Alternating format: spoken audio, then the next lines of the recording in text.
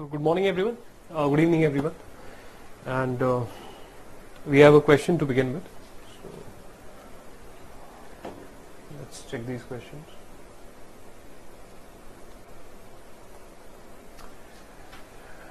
Sir, as you said, during Great Depression 1929, Chiang Kai-shek was in power in China. Yes, after 1928, he was the one who was the head of the republic. Uh, who is a pro-capitalist? Yes, he is pro-capitalist. Then what is the effect of Great Economic Depression on China? Okay. So the impact of the Great Depression on China as such, see, uh, the impact is same all across the world. The whole world, it is reeling under the pressure of depression. So the Chinese exports, they came down because the world is not buying. So therefore, like there was economic activity in depression in the rest of the world, similarly, the economic activity was in depression in China, in India also it was in depression, right? So therefore, the exports from China, they would decline, right? That is what will happen. So earlier, a lot of exports would be going outside of China for consumption either as most probably as raw materials because China it was not industrialized. So therefore, uh, the export income of China it would come down. Right? It came down, right? So therefore, that is how the impact of the Great Depression on China it is. Okay. So that's uh, how it is. So now let us begin. So today our topic of discussion it is going to be the World War One. Right, right.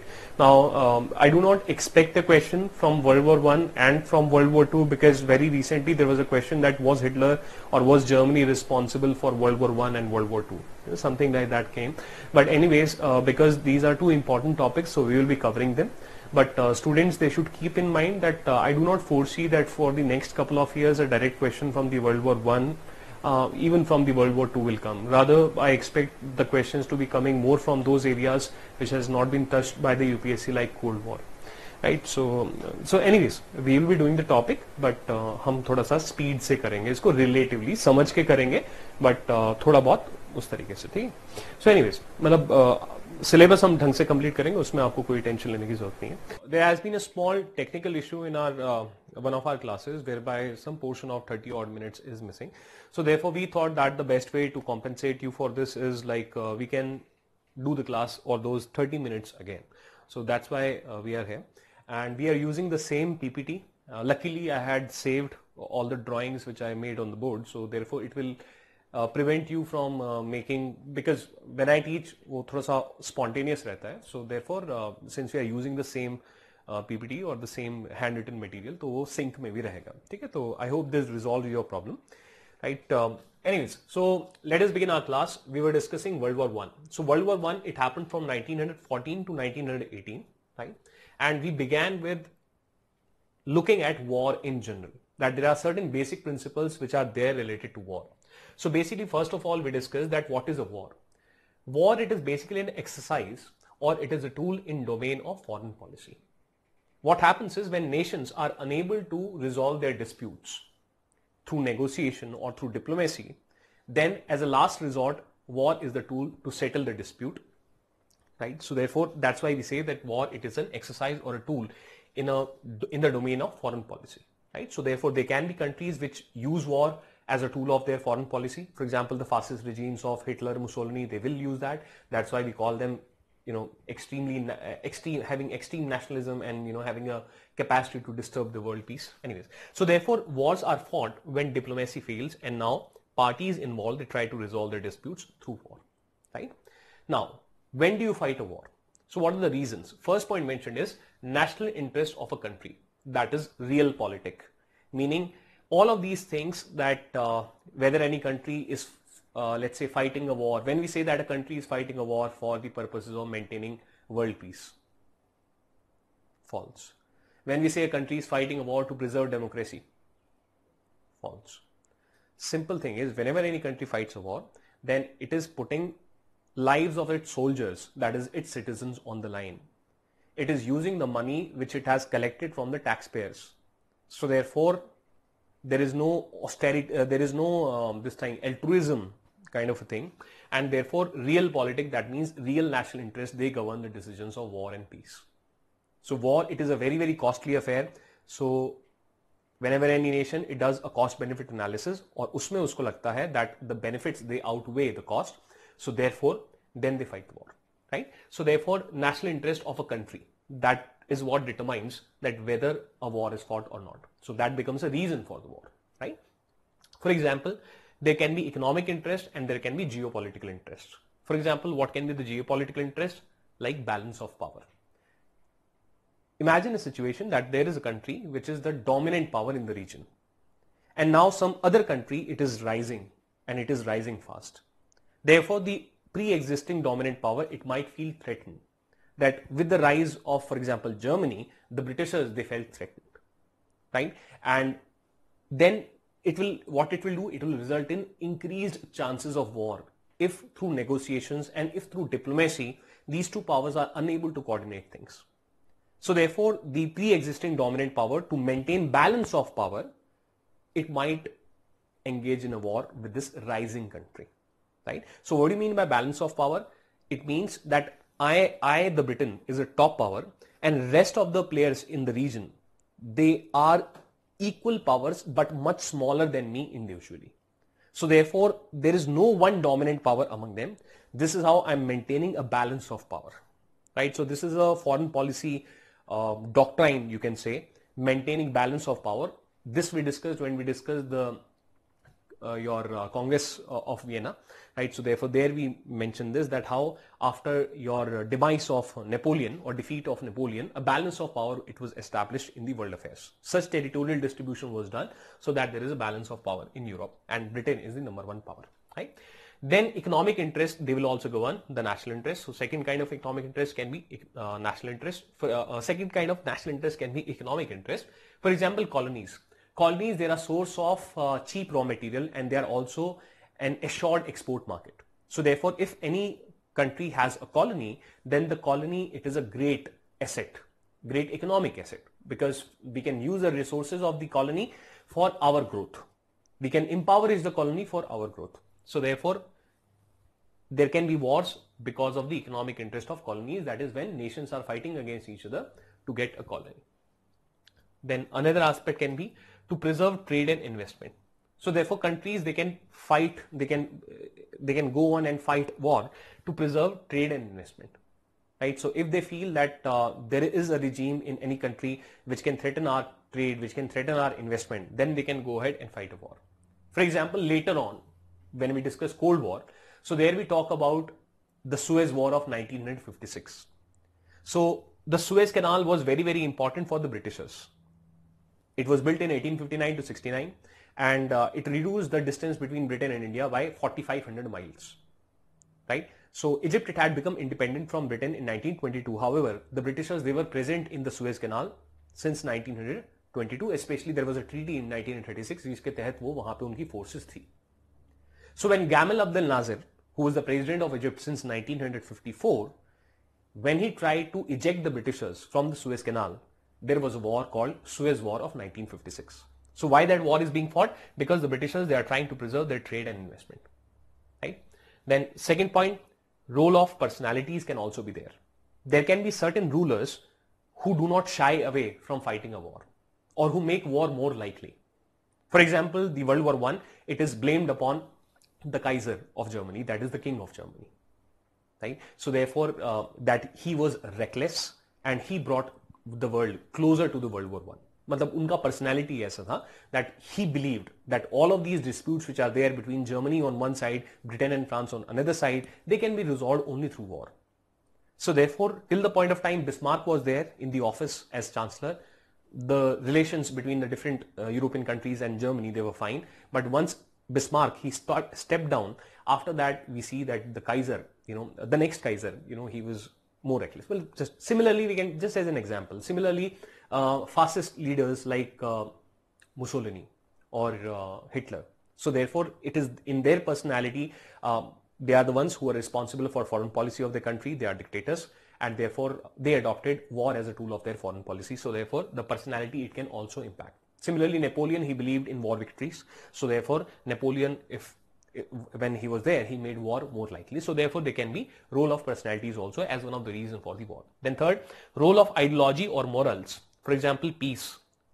Second point, pro-war. Example, fascist or dictators. Right? So therefore, role of ideology. तो यहाँ पे हमने जो Hitler, Napoleon और Mussolini के बारे में कहा, so that point is valid here. That ideology of a regime or a leader can be pro-war, right? So, वो example हो गया. Second, to maintain world peace, right? So there can, therefore, they, someone can say that uh, we are, for example, the League of Nations and the United Nations. They have the principle of maintaining world peace. So if uh, the United Nations Security Council today sanctions any action to prevent, to maintain world peace, then we can say that, okay, collectively the United Nations has initiated a war against an aggressor nation so as to control it, so as to maintain world peace. So that can also be a reason. Right? So therefore these are the different reasons which can exist for a war. What is the character of the war? So as we have mentioned, wars, they are very costly. They are costly from a human na nature perspective. They are costly from the economic nature perspective right? Psychological uh, traumas, etc. Anyways, so the character of the war that it is very, very devastating. For example, A, there will be loss of soldiers when there is a war. B, loss of civilians and infrastructure if war is fought on my home ground. So this phenomenon that we see that Europe, it was devastated by the two world wars of World War One and World War Two. Why? Because it was the battleground for these wars. Whereas outside of Europe, Britain, it is part of Europe, but it is detached on mainland of Europe. Britain did not uh, witness that uh, war being fought on its home ground. That is, soldiers did not set foot on the land of Britain. Similarly, in the case of Japan, in the World War I, soldiers they did not set foot on the land of Japan. In the case of US, in both the world wars, no soldiers, no foreign soldiers, they set foot on the US soil as such, except for one small incident in World War II. Anyways, that is negligent. So therefore, when battles are being fought on your home ground, then shelling will take place, firing will take place. As a collateral damage, your buildings will be devastated, your bridges will be devastated, your civilians, they might die, right? Many of the businesses, they will be disrupted. So therefore, if war, it is fought on your home ground, then the loss of civilians and infrastructure, it is there and it is very worse. Third, they are costly. So as you mentioned that because of point number B, there is cost of life because of point number A and cost of economics and life because of point number B. Similarly, what we can say, they are costly. How? They require huge amount of money to be fought. A country might increase recruitment. So for low population countries, European countries, they do not have very large standing armies. Whereas India, which is very populous, China, which is very populous, they have large standing armies, right? Standing armies mean uh, people, they are in the army, large number of people, they are in the army and that's their career, right? Whereas in case of European nations, what they do is they have small standing armies and they have conscription, that is compulsory military service for the youth which is there in the college. And at times of war, they go ahead and they recruit, right?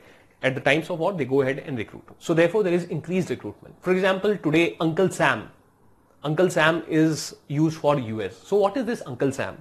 So basically when US wanted to recruit soldiers during the World War One, World War Two, so therefore they came up with this kind of a logo where this is Uncle Sam, ठीक And Uncle Sam was basically uh, actually कुछ खाना दिया जाता था उस खाने का जो ब्रांड था वो कुछ अंकल सैम से रिलेटेड था ठीक है एनीवेज मतलब वो कुछ इस टाइप का एंड में बन गया that uncle Sam wants to recruit you right so therefore a call was given to the youth of the US that fight for US, right? So therefore, any these low population countries or relatively the European countries, they have this increased recruitment during the time of war. And obviously, when you recruit soldiers, you would be giving them, um, you know, salaries, you will be giving them pensions if they die, right? So therefore, there is increased cost. Second point is there are costs because of weapons, gears. So when any country is fighting a war, more and more weapons are required. Gears are required. Gears mean, for example, my helmet, my bulletproof jacket, my gloves, okay? So my shoes, all of these are gears. So therefore, I'll be requiring all of these equipment. So therefore, there is increased expenditure by a country which is fighting war on weapons and gears. Third point, it is their expenditure on logistics. So for example, if US today fights a war, then it would have to move tanks, it would have to move guns, it would have to move other kinds of arm and ammunitions, soldiers, trucks from US across the Atlantic or across the Pacific to whichever areas where US is fighting war. That's why one of the biggest lesson for US was the lessons of the logistics when the US intervened in Iraq and Afghanistan. That how to fight war in such a far off away land. Obviously World War I and World War II they were also experiences. So therefore there is huge cost of the logistics. Movement of soldiers, movement of supplies, there is a huge cost. Then what we have fiscal deficit. So when such huge amount of expenditure is done, then the government is spending more. When your spendings are more and your earnings are less, and you are a government, then what do you have? Fiscal deficit. When your spendings are less and your income is more, then you have fiscal surplus. So therefore, obviously, when you are doing such huge amount of expenditure, then the government increases its expenditure and as a result, the country it faces fiscal deficit. And as you would have studied in your economics, when there is fiscal deficit, then there is increase in inflation because there is excess printing of money. Foreign debt in World War One and in the World War Two, the European countries they took loans from the United States of America to fight the war. And after World War One, there was this huge burden of debt on countries like Italy, France, Britain also. So therefore, a country might incur foreign debt when it is fighting the war, right? Because it needs money for all of these things. So therefore, this is how your this is the character of the war. It is very very devastating economically and obviously on the human side, right? So therefore, this point we discussed. Next, what we have is the second slide. So when to fight a war? So countries that do a cost benefit analysis, right? So there are certain costs and there are certain benefits of the war, right? So therefore, what are the costs? So cost we have already discussed, okay? So costs we have already discussed.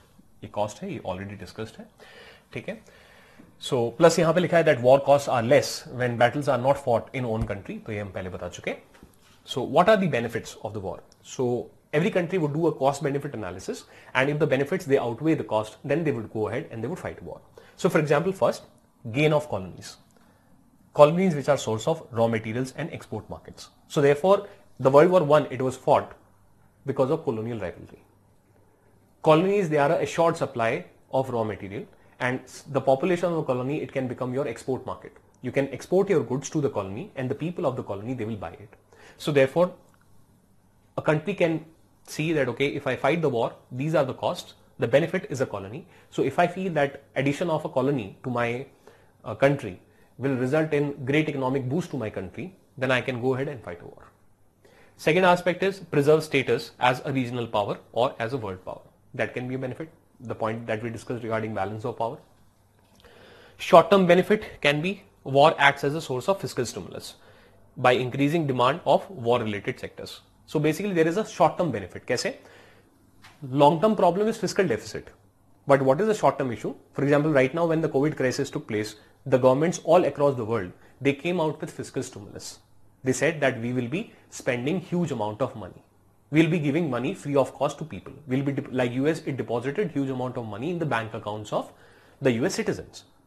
Right? Why? So that when the economy is down, then there should not be problem of low demand. Therefore, let us put money in the pockets of people so that the people they are spending. So that there is demand. When there is demand, the engine of economy keeps on running When there is demand, the factories they will have the demand so as to increase the supply or so as to continue the supply. This is how fiscal stimulus works. Now, when a war happens, any government would give huge amount of orders for gears, for arms and ammunitions, for equipments, right, and for there will be huge demand for steel because I need to produce more trucks, I need to produce more tanks, right? So therefore what will happen is that multiple sectors which are related to war, इसको बोला जाता है war industry. so if on Google you search war industry of uh, or a similar uh, type of sentence that World War II gave, gave a huge boost to the war industry of US.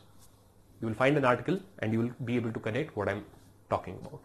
Right? So Google ek bar karke dekho that um, the World War II boosted the war industry of Europe like anything.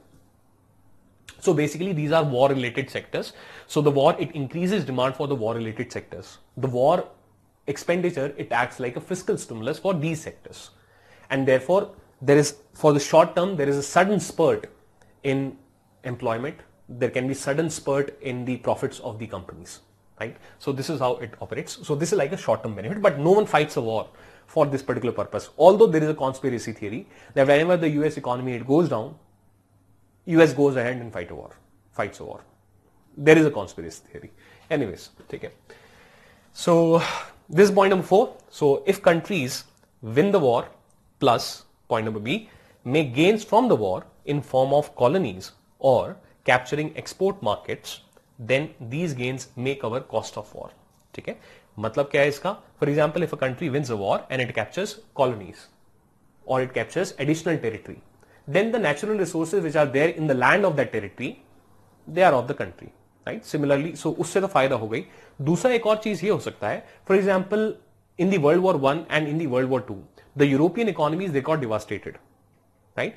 And as a result, what happened that indirectly, the Japanese and the US exports, they increased because European exports, they were replaced by Japanese and US exports. So it was an unintended consequent, unintended benefit to the Japanese and the US. Why? Because the US economy got devastated. A lot of battles they were fought on the ground of the uh, Europe right? So therefore, European economies they got devastated, and therefore US and Japanese economies they captured or they uh, they captured the export markets of Europe. ठीक है तो उनके exports बढ़ गए but ठीक है ये एक साइड बेनिफिट है no one will talk about it like openly कि हम इसलिए लड़ाई लड़ रहे हैं so that we can get rid of our export competition ठीक है anyways but this is how things operate. the third side that we discuss is context of the World War One. So when we discuss the context of the World War One, we talked about number one, Europe dominated the rest of the world except Americas, meaning America or the US. It, uh, US was the number one economic power by the time of 1914. Uh, its industrialization has begun in 1865 properly and by the time period of 1914 it had got enough time to properly industrialize and therefore as a result have the number one economy of the world. However, US was following a policy of isolation under the Monroe Doctrine of 1823. So therefore the political affairs of the world, they were dominated by Europe. आप Africa का map देख लो in Africa all European powers are there if you look at China, Pacific, most of them are European powers. Yes, US, it is engaging with the rest of the world in the domain of economics. It is doing trade. But politically, it does not want to be part of any conflict. So therefore, that's why we say that the world affairs, they are dominated by Europe. So Europe dominated rest of the world except Americas. Why? Because under the Monroe Doctrine of 1823, US had said that my backyard, that is Central America and South America, they will be under my domination. I do not want any interference by Europeans in my backyard and I will not interfere in the affairs of Europe. So that's why US uh, was not part of uh, the colonial rivalries in Africa. The second point is industrialized nations, right? So therefore the world had industrialized nations before the World War One. For example, US was the top economy, जैसा कि discuss किया, but was following policy of isolation in world politics. Point number B, Japan was only Asian country which was industrialized. ठीक? So in Asia, only Japan was industrialized. Point number C, within Europe, Britain was a top economy because industrial revolution had it has begun since 1750. So therefore it was the top economy, it was the top industrialized economy. Second was Germany. So after 1870 unification of Germany, Germany has very rapidly caught up with the Britain and it was rising very fast and was catching up with Britain. So there is tension always between number 1 and number 2. Right? Or number 2 and number 3. Right? So second was Germany and was catching up with Britain. France, Austria-Hungary Empire, etc. They were industrializing, but they were far, far behind. Right? They were far, far behind. And that was one of the reason also for Germany and France uh, rivalry. Germany is like, I'm the number second power in the world. And France, it is nowhere near me. But if I look at the colonial empire, then France has much bigger colonial empire. So therefore, it is wrong. France does not deserve this kind of a colonial empire. That was a rivalry that Germany wanted a colonial empire in line with its second rank in Europe. That was the reason for France-Germany rivalry. Anyways, coming back to the point, France, Austria, Hungary, Empire, etc. They were far behind. Russian economy was largely agrarian in 1914. So they had begun with their industrialization in 1870s, 1880s. However, by 1914, they were nowhere successful. There were different problems. Russia was a huge piece of land and uh, therefore to connect different areas, you know, it requires huge amount of expenditure. ठीक है तो उस तरीके से वो थोड़ा सा उनका स्लो था। Then so this is point number A B C D and this is point number C then we come to point number D अच्छा यहाँ पे भी कुछ अच्छा ये पॉइंट नंबर बी है overall so we come here point number C so when we discuss this point number C after the point number B we say polity of the world वो किस प्रकार की थी? So because at times it is set that in the world if there are democracies then the the of peace will be more and in the world if there are more dictatorships or absolute monarchies then the chances of war will be more because an individual which is not accountable to anyone his whims and fancies or his ideology that he wants war it can impact anyways so उस वजह से हम in general एक polity of the world हम देखते हैं जैसे Kaizer के बारे में हमने बात करी ही अभी ठीक है that Kaiser was sort of responsible for his personality was sort of responsible for increasing the tensions at least उतना हम बोल सकते हैं so polity of the world if you look at point number A, so there was democracy. Kahan kahan pe? There was democracy in Britain, in France since 1870 after the Franco-Prussian War. In US, there was democracy after 1783, Second Treaty of Paris.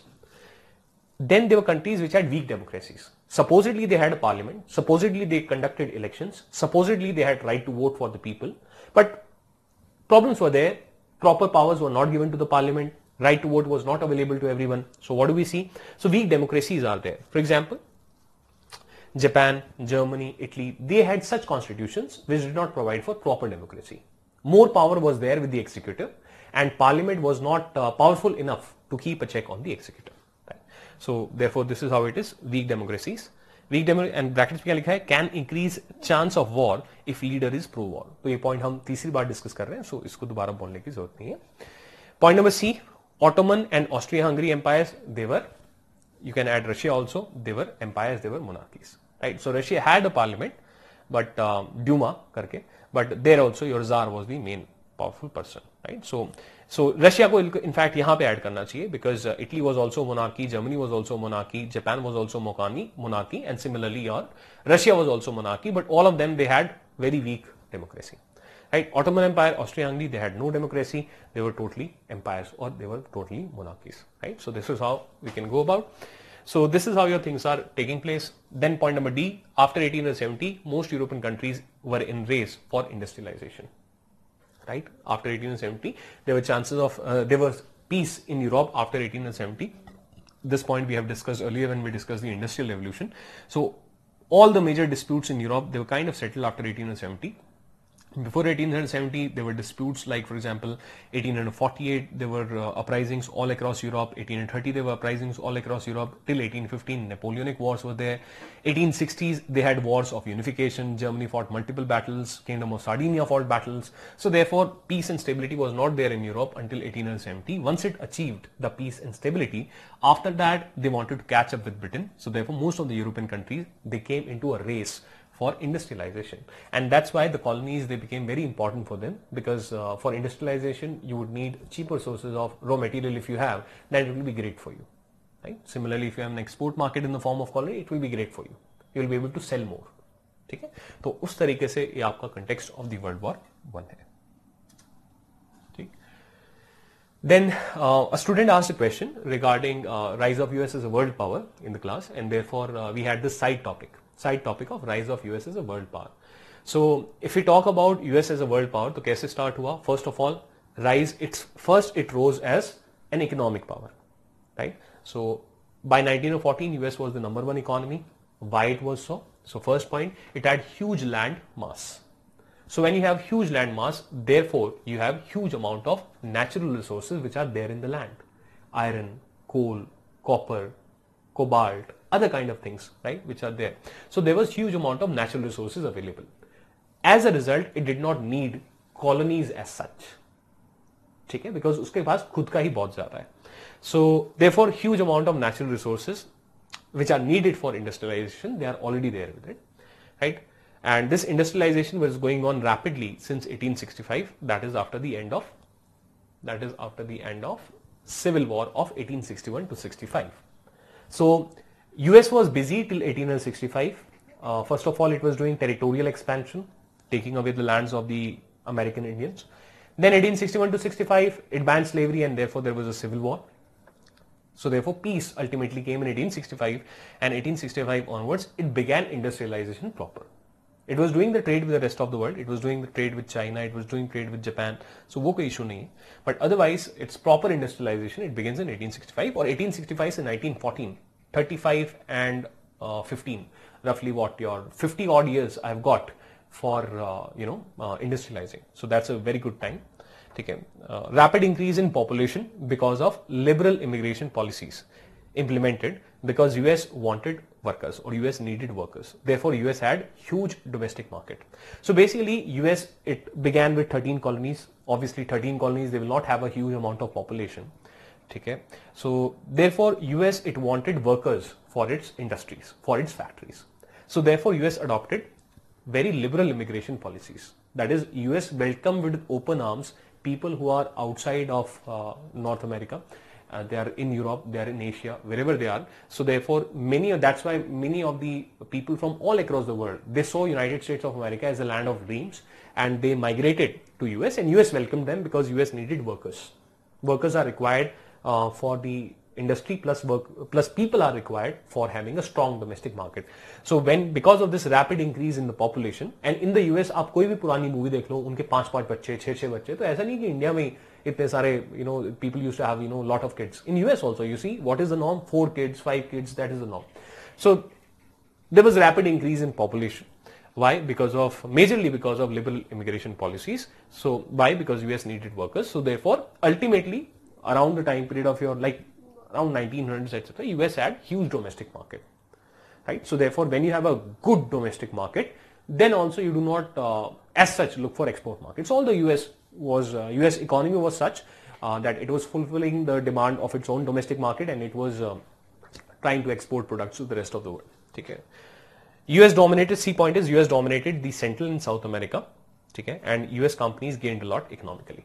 So अगर हम बोलते हैं कि अच्छा sir तो फिर US ने क्या colonialism नहीं किया that is being compensated by Central America and South America because US is the dominant power in the whole of Americas, especially after the 1898 war with Spain. So therefore, uh, now US can, uh, you know, US companies, the US can dominate, and US companies they can enter into the economy of Central and South American countries, and therefore the US companies they can gain a lot. तो basically colonies चाहिए नहीं क्योंकि जो colonialism है वो लोग ये तो सेंट्रल अमेरिका और साउथ अमेरिका में इकोनॉमिक बेनिफिट्स निकाल ही रहे हैं ठीक है तो इस तरीके से है then next point is rise of US as a political power so वो कहाँ से स्टार्ट हुआ? तो वहाँ पे अगर हम देखें so there we see that World War One and World War Two they devastated Europe this acted as a capitalist for US to become a super power right because the European economy is are getting devastated by the two world wars so therefore suddenly we see that US economy is again you know super number one economy and second point is after your World War two there was rise of USSR there was fear of communism So therefore now US took upon itself that I will check spread of communism. वो हम तब देखते हैं जब हम cold war discuss करते हैं तो इसलिए यहाँ पे मेंशन नहीं किया So anyways, World War One and World War Two they devastated Europe. This acted as a catalyst for US to become a superpower. So because superpower status, it is a relative status. It is a relative status. So what is the gap between rest of the world and US? So that gap increased immensely after the World War I and the World War II, especially between Europe and the US. 1945, it was first one to become a nuclear power. So therefore, when it became a nuclear power, automatically it became the number one military power and therefore automatically it became the number one political power in the world. Right? So therefore, that is US rise as a political power. So it intervened in the World War One. After that, we will see that it reverts back to policy of isolation. But its economy was so intermingled with the rest of the world by the time period of 1920s that it realized that to protect my economic interest, I cannot be away from the politics of the rest of the world, right?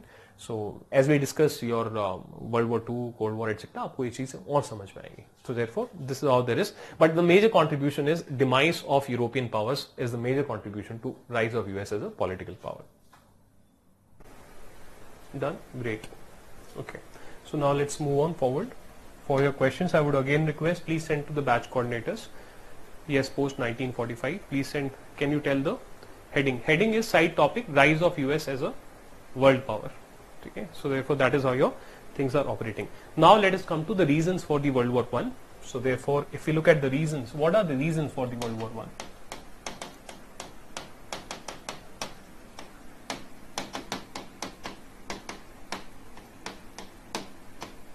1914 to 18 World War One was fought and what are the reasons so what have we lead the ground किस लिए हमने अभी एक घंटा इन सब चीजों पे spend किया है वे स्पेंड सो दैट ये चीजें हमको बहुत आसानी से काम आ जाए ठीक है सो so, आसानी से समझ आ जाए so therefore economic interest national interest is there national interest के दो पार्ट्स होंगे something which is geopolitical second something which is economic national interest so therefore for these reasons the world war one will be fought so let is just try to see that what are these national interests or what are these causes of frictions which are there, uh, how the national interest of these different countries they are colliding with each other, how they are not able to resolve them through negotiations, and therefore they are going to war to resolve those disputes. So remember in the first slide we mentioned that wars they are a product of failure of diplomacy.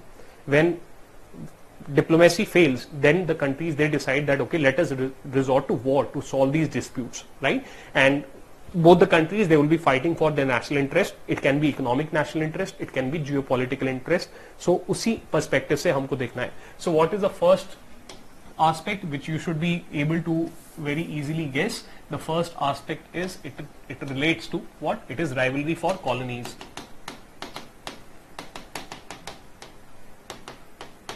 So this point it is i hope very very easy for you to grasp. Why there is rivalry for colonies? There is rivalry, rivalry for colonies. Point number one, because colonies are important for industrialization. Colonies they act as a source of cheap raw material and they act as a export market. So therefore, मेरे को cheap inputs मिल जाएगा plus I will be able to get a assured s- seller, uh, assured buyer of my products. So therefore, why rivalry for colonies is there? Because of its because of their importance.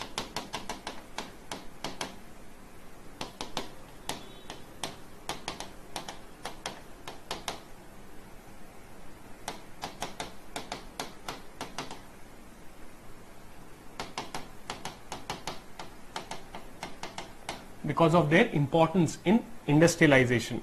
They are sources of cheap raw material.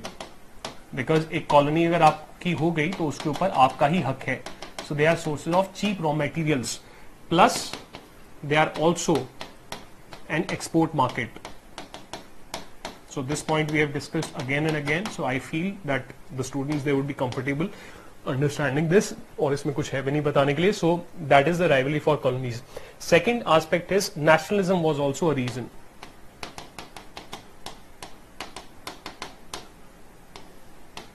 Nationalism was also a reason. We know that since the time period of French Revolution, there was rise in nationalism in Europe. We have discussed this point with lot of stress that what do you mean by nation? Nation is summation of people who feel one.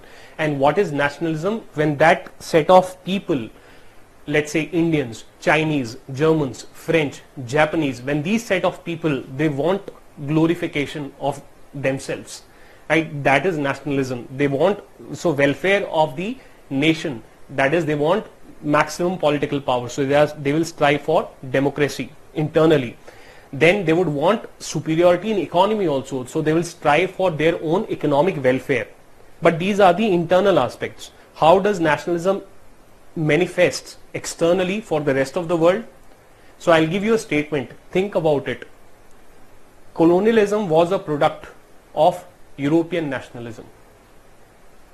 Colonialism was a product of European nationalism. Look at the irony.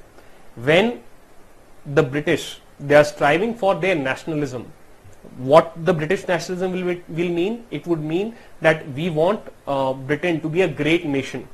That Britain should be a world power. British pa- passport should have the highest value. We should be able to say that we have this much amount of colonial empire that is British nationalism. But see the nationalism of the British, it is hurting the nationalism of Indians.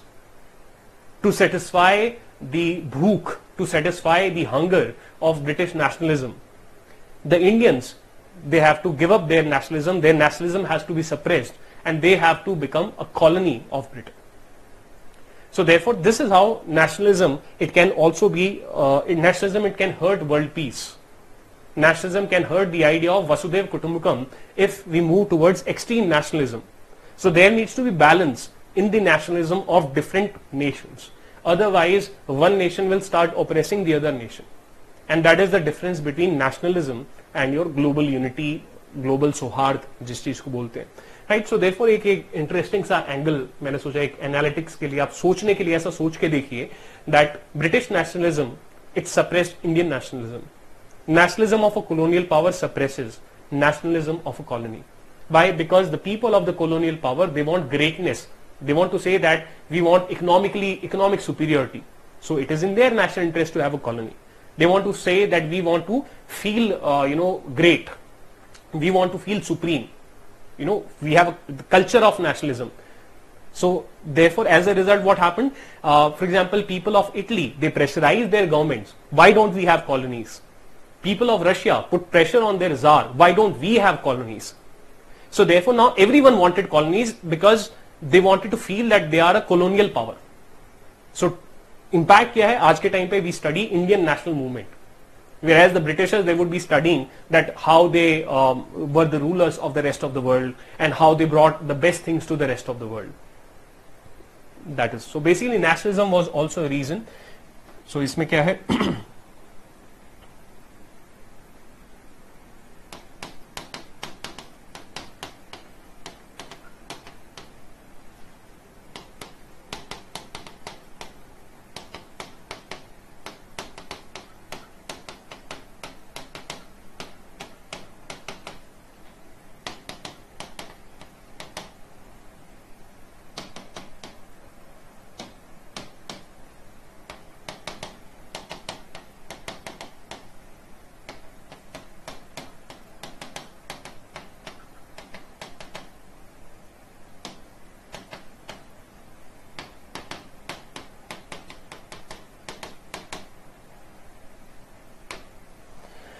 nationalism led to demands by the public on their governments to strive for a colonial empire, right? So this is what is there. So they, therefore rivalry was for colonies was there. This is an economic reason. This is any reason which is related to economy, and this is a reason which is related to culture.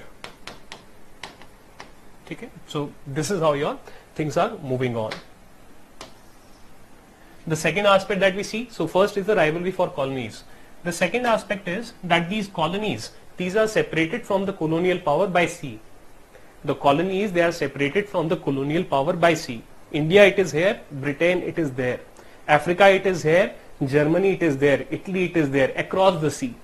So therefore, which country would be able to have control over its colonies? And which country will be able to ensure that uh, it can have more colonies?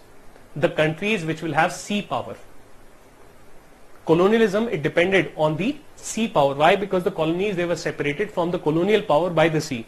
So therefore that country which is able to dominate the seas that with that country which has strong navy that country will be able to dominate the colonies that country will be able to have a colonial empire.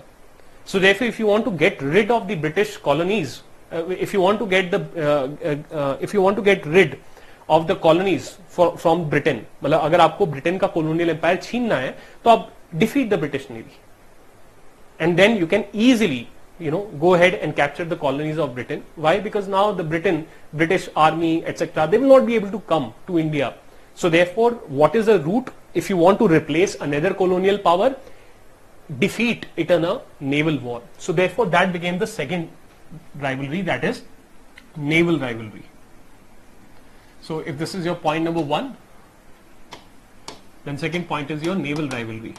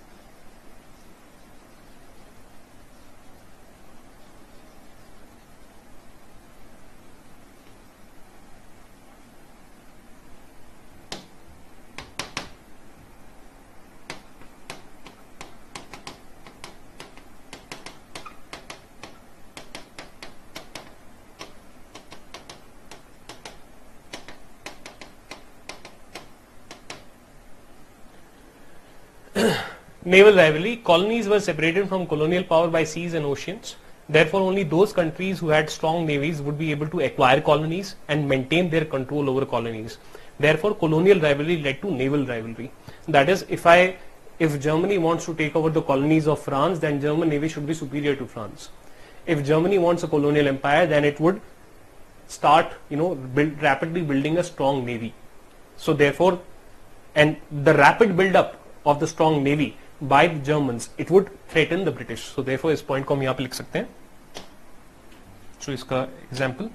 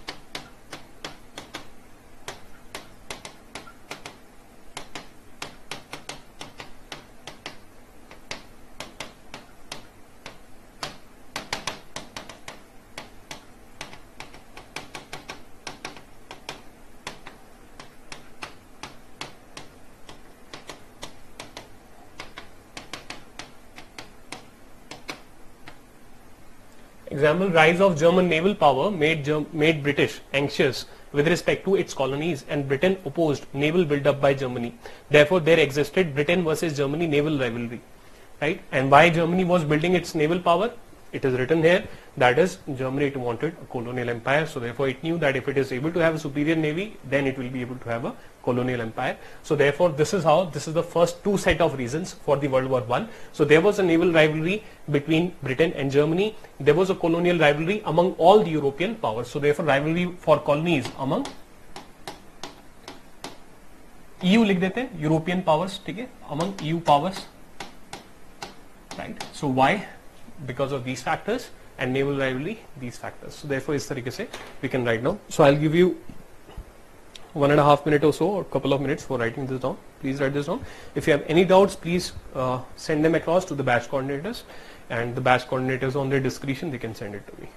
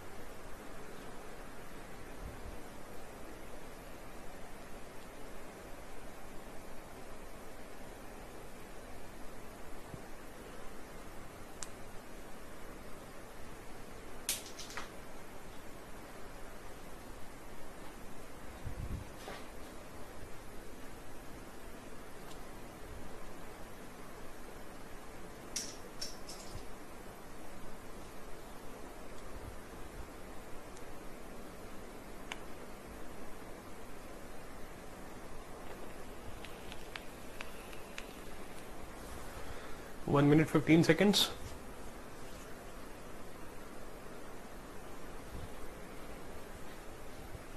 Please write down fast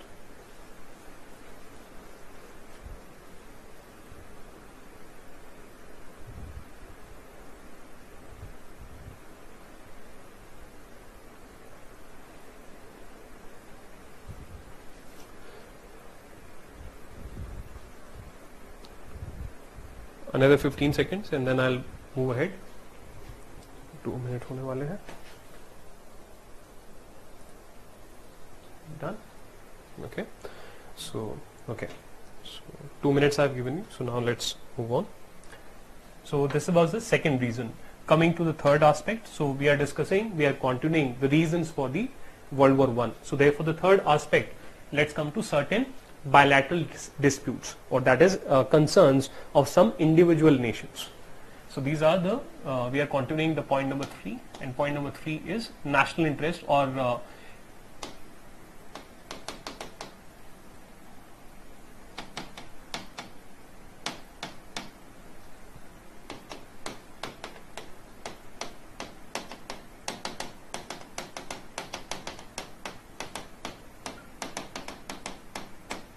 concerns of individual nations. What are these concerns? So, for example, if you look at 3.1,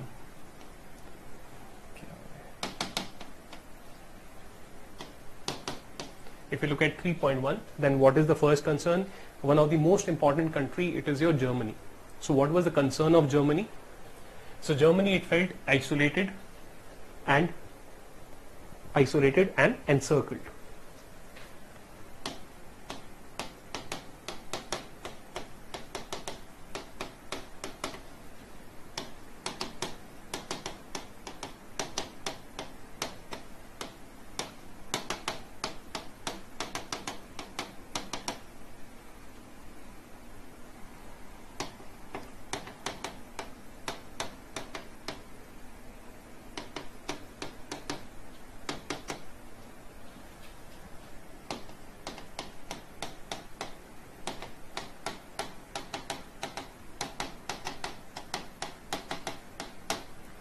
Felt encircled by the rival powers and isolated in the conferences held to resolve the colonial disputes. So what can be the examples that we can take for? Okay. What is written in the last point? Okay, just one second. Uh, point number one, two. Example, rise of German naval power uh, made Britain anxious with respect to its colonies and Britain opposed naval build-up by Germany. Therefore, there existed Britain versus Germany naval rivalry. Okay, so Britain opposed naval build-up by Germany. Therefore, there existed Britain versus Germany naval rivalry. Okay, so Germany felt encircled. How did Germany felt encircled?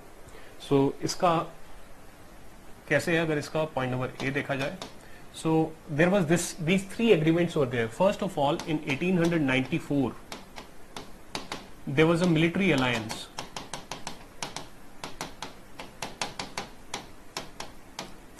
There was a military alliance. किसका आपका France and Russia का France Russia military alliance second part that we C 1904 entente cordiale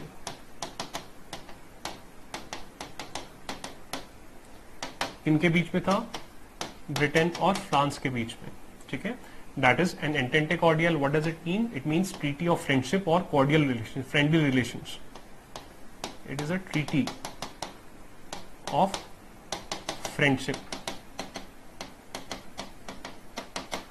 it is a treaty of friendship not a military alliance.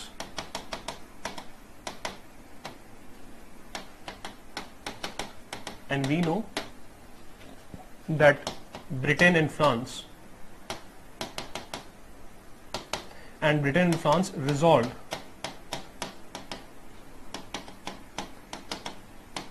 their colonial disputes. Okay, so we know that uh, Britain agreed that okay, Morocco it belongs to France, and France agreed that okay, Egypt and Sudan they belong to Britain. So they resolved their colonial disputes कहाँ पे? In Africa. So this we have discuss when we discuss colonialism in Africa इस तरीके से पिछला हर topic अगले topic से connected होता है। ठीक है? So this is what is happening third point that we see ये हमने डिस्कस नहीं किया है। In 1907 there was this Britain Russia agreement and this agreement so this Britain Russia agreement was there right so this britain russia agreement they resolved their territorial dispute they also resolved their colonial disputes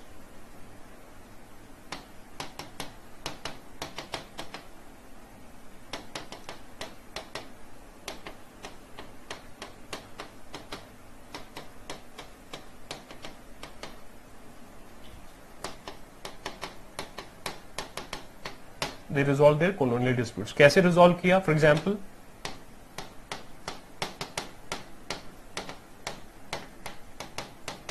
Russia agreed to Afghanistan and India as special interests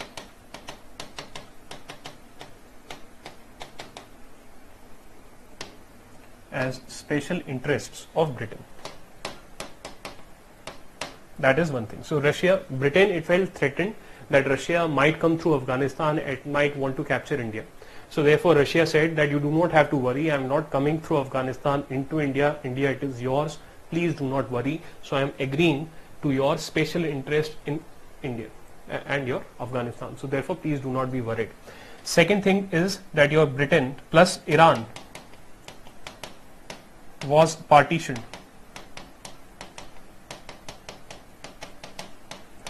Iran was partitioned between Russia and Britain. So they had a dispute with respect to Iran also. Iran is the uh, Middle East is a Middle Eastern country which has a border with you know your uh, uh, Russia. ठीक है तो उस तरीके so uh, they Iran was partitioned between Russia and Britain. ठीक है so basically your North Iran so it was decided like this so this is a buffer area North Iran it went to Russia. If this is your North Iran this is your South Iran. So it was decided that this is of Britain. This was decided that it is of Russia. And this will be a buffer zone together which will be um, of none of these powers which will be open to all so north iran south iran and बीच में buffer zone इस तरीके से इन्होंने Iran को divide कर लिया so iran was partitioned between russia and britain that is what we are writing plus britain agreed to trade and investment trade and investment into russia what was the reason for this? Why Russia will agree to this? Russia agreed to this because Russia was weak at this particular point of time. Can any student tell me that how Russia was weak around the time period of 1907? Can any student tell me that how Russia was weak around the time period of 1907? Let's see who is able to reply. I request the batch coordinators to turn on the chat.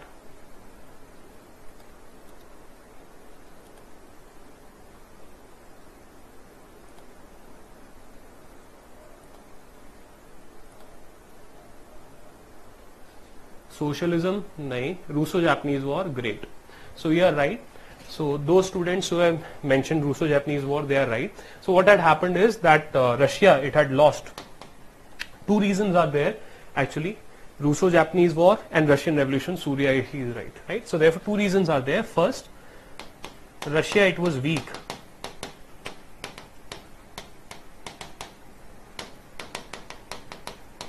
After loss in Russo-Japanese War.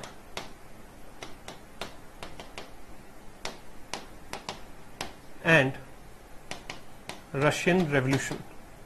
Russo-Japanese War and Russian Revolution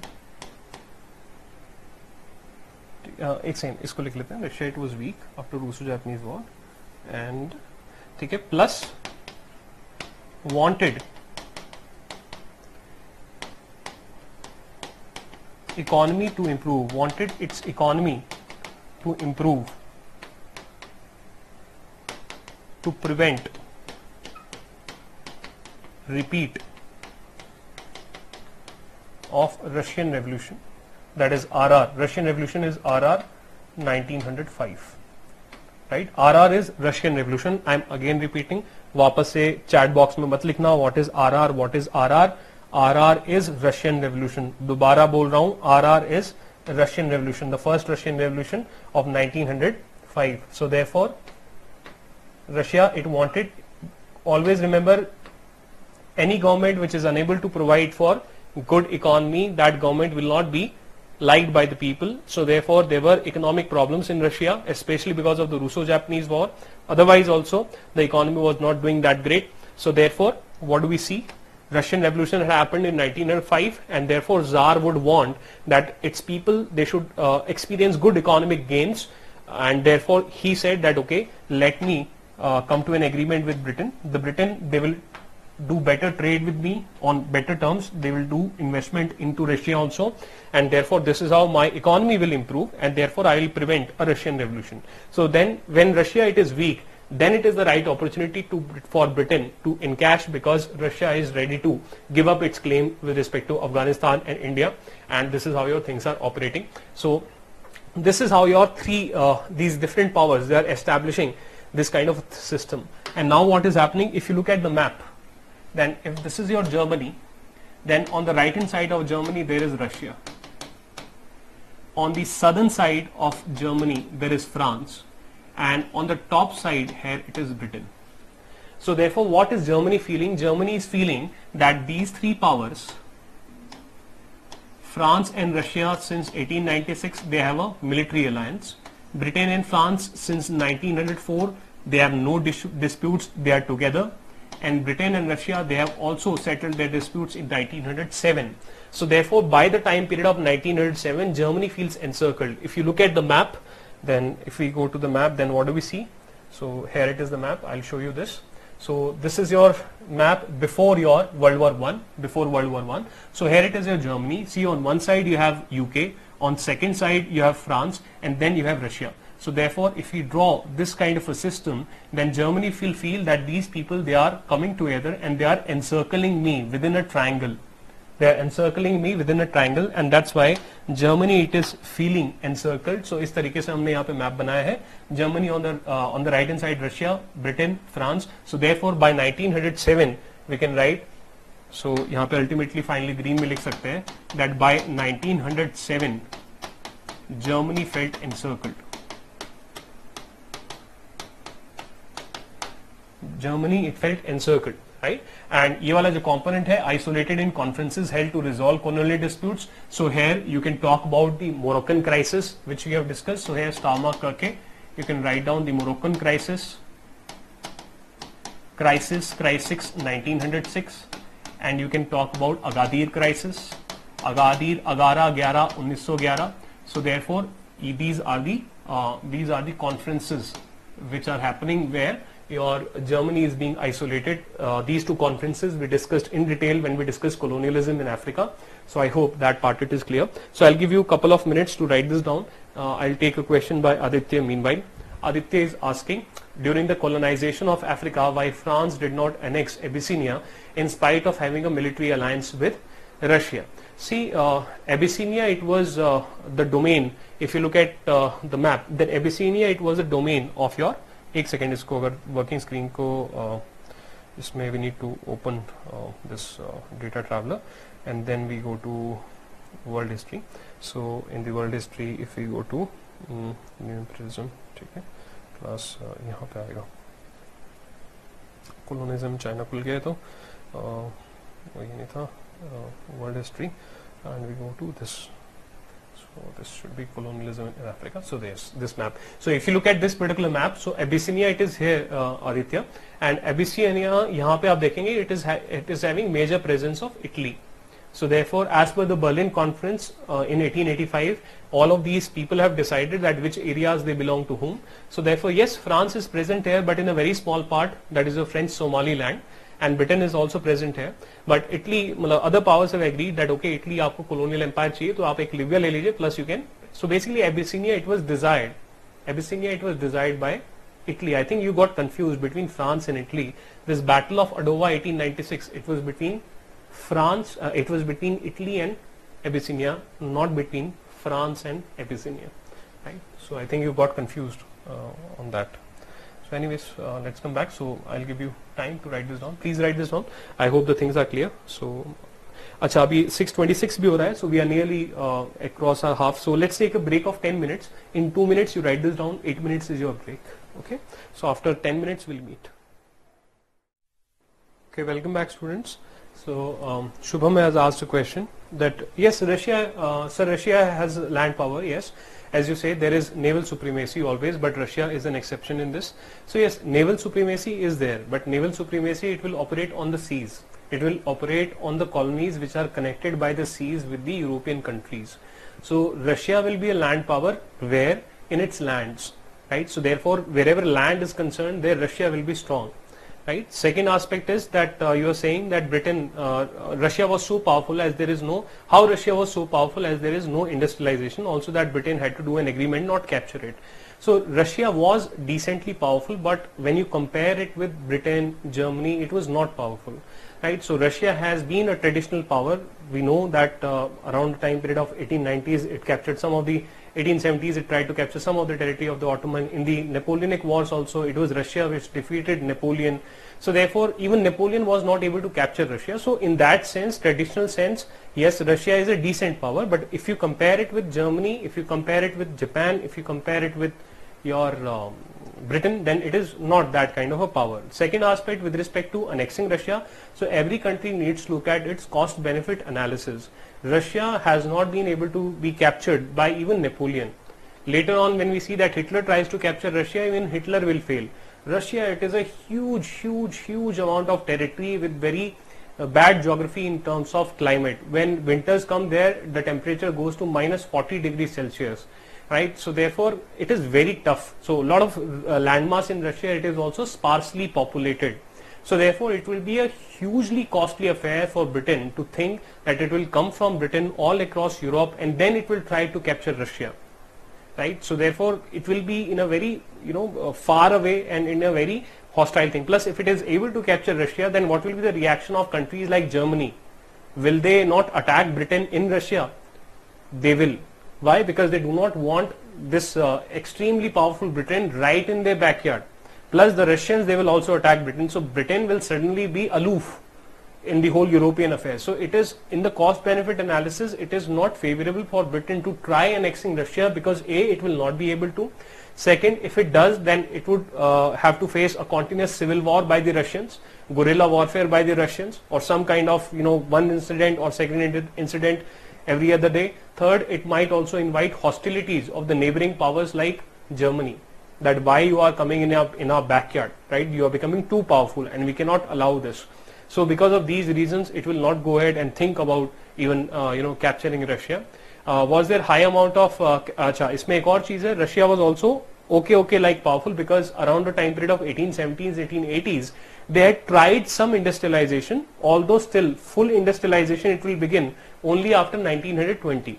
But it, we are not saying that there were no factories in Russia but yes Russia was largely agrarian right so some railways etc they had been built in Russia but still population wise farmers were in the majority workers they were in a minority because full industrialization had not taken place ठीक है तो इस तरीके से है and last point आपका क्या था मैं भूल रहा हूँ स्क्रीन से चला गया एक बार अगर आप दोबारा दिखा देंगे बैच कोऑर्डिनेटर्स तो लास्ट पॉइंट को भी एड्रेस कर देंगे छोटा सा एक पॉइंट था लास्ट टाइम का ठीक है सो एनीवेज तो अभी जब आएगा तो फिर उसको देख लेंगे अदरवाइज़ कहा गया मेरा पेन ठीक है तो उस was there nationalism in Russia yes there was nationalism in Russia ठीक है nationalism is there in all the countries of Europe, especially after the French Revolution, right? So that is there. So this is how your things are going on. So this is 3.1. This is the concern of Germany. Germany is feeling, therefore Germany felt, ठीक है वो हो गया nationalism था, ठीक है uh, Germany felt that your uh, it is being encircled and it is being isolated. So therefore, what did it feel? It felt. So what is the net result? So इसको 3.1 को अगर हम conclude करें, so we can write down here. 3.1 conclusion we can write down that therefore Germany came to believe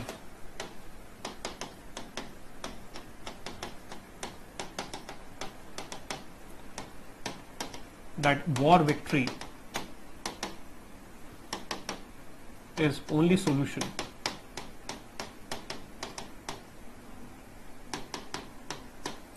for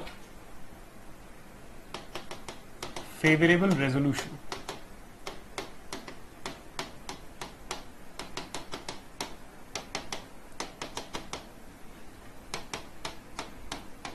to its colonial ambitions. Right? So therefore this became a situation. Then 3.2. The second concern that we can take about is France. So if we take a look at France, so what is the grievance? So इनका भी एक grievance था grievance of loss of Alsace-Lorraine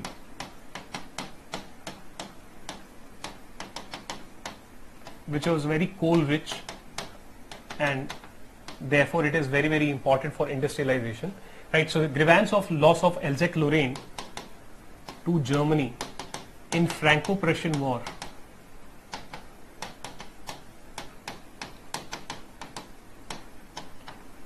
of 1870 so therefore this was a grievance between France and Germany France wanted its Alsace-Lorraine back it was an area which is on the border अगर हम इसको map में देखेंगे तो map में भी आपको दिखा देते हैं सो so if you look at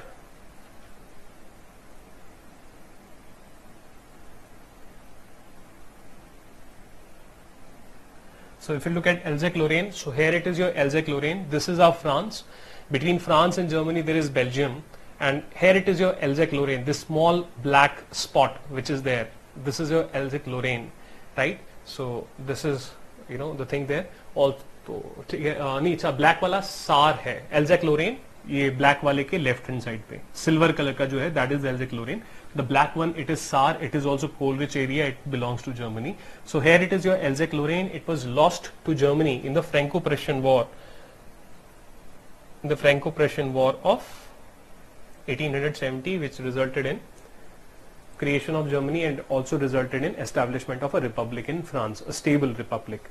So this is how your things are going on. Okay. So questions please ask to the batch coordinators. Only then I'll respond. Otherwise the flow of the class it gets disturbed. Right so France grievance of loss of Alsace-Lorraine 3.3 what was the issue with respect to Russia? So I'll write it down. You will not be able to understand. I'll then uh, make you understand. So two concerns were there. First A it wanted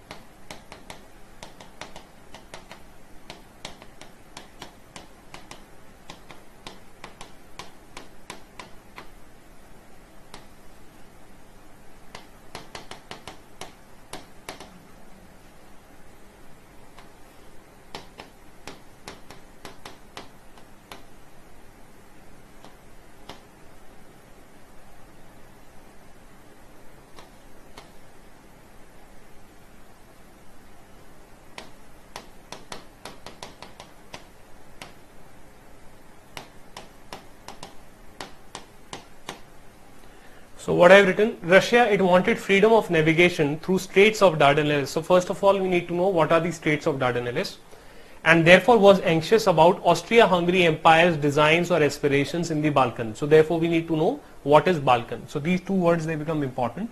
Straits of Dardanelles and Balkan. So the map, it will help us. So if this is your Russia and this is your Black Sea, then the connecting point between Black Sea and the Mediterranean Sea is the straits so they are the straits of Dardanelles. So these are the straits of Dardanelles which are there. On the right hand side of the straits of Dardanelles are the Ottomans and on the left hand side the area it is called Balkan. In Balkan there is a country called Serbia. Serbia was a friend of Russia. However, above Serbia there was Austria-Hungary Empire and this Austria-Hungary was an enemy of Serbia, right? So therefore this is how your things are there. Austria-Hungary was an enemy of Serbia.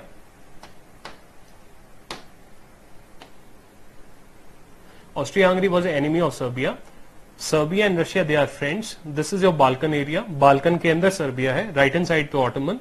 This is how your things are. अगर अभी भी समझ में नहीं आ रहा, so what I'll do is we'll go to the working screen and there we will see how it is working and whether we can find a solution to this particular thing right so let's discuss about the straits of dardanelles right so therefore this is the map of europe after your world war one and there you see certain new countries are there. So this yugoslavia it is nothing but serbia.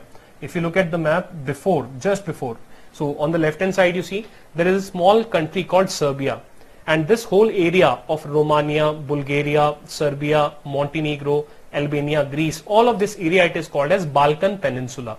This area it is known as Balkan Peninsula, right? And this is your Mediterranean Sea and here you see your Turkey is there.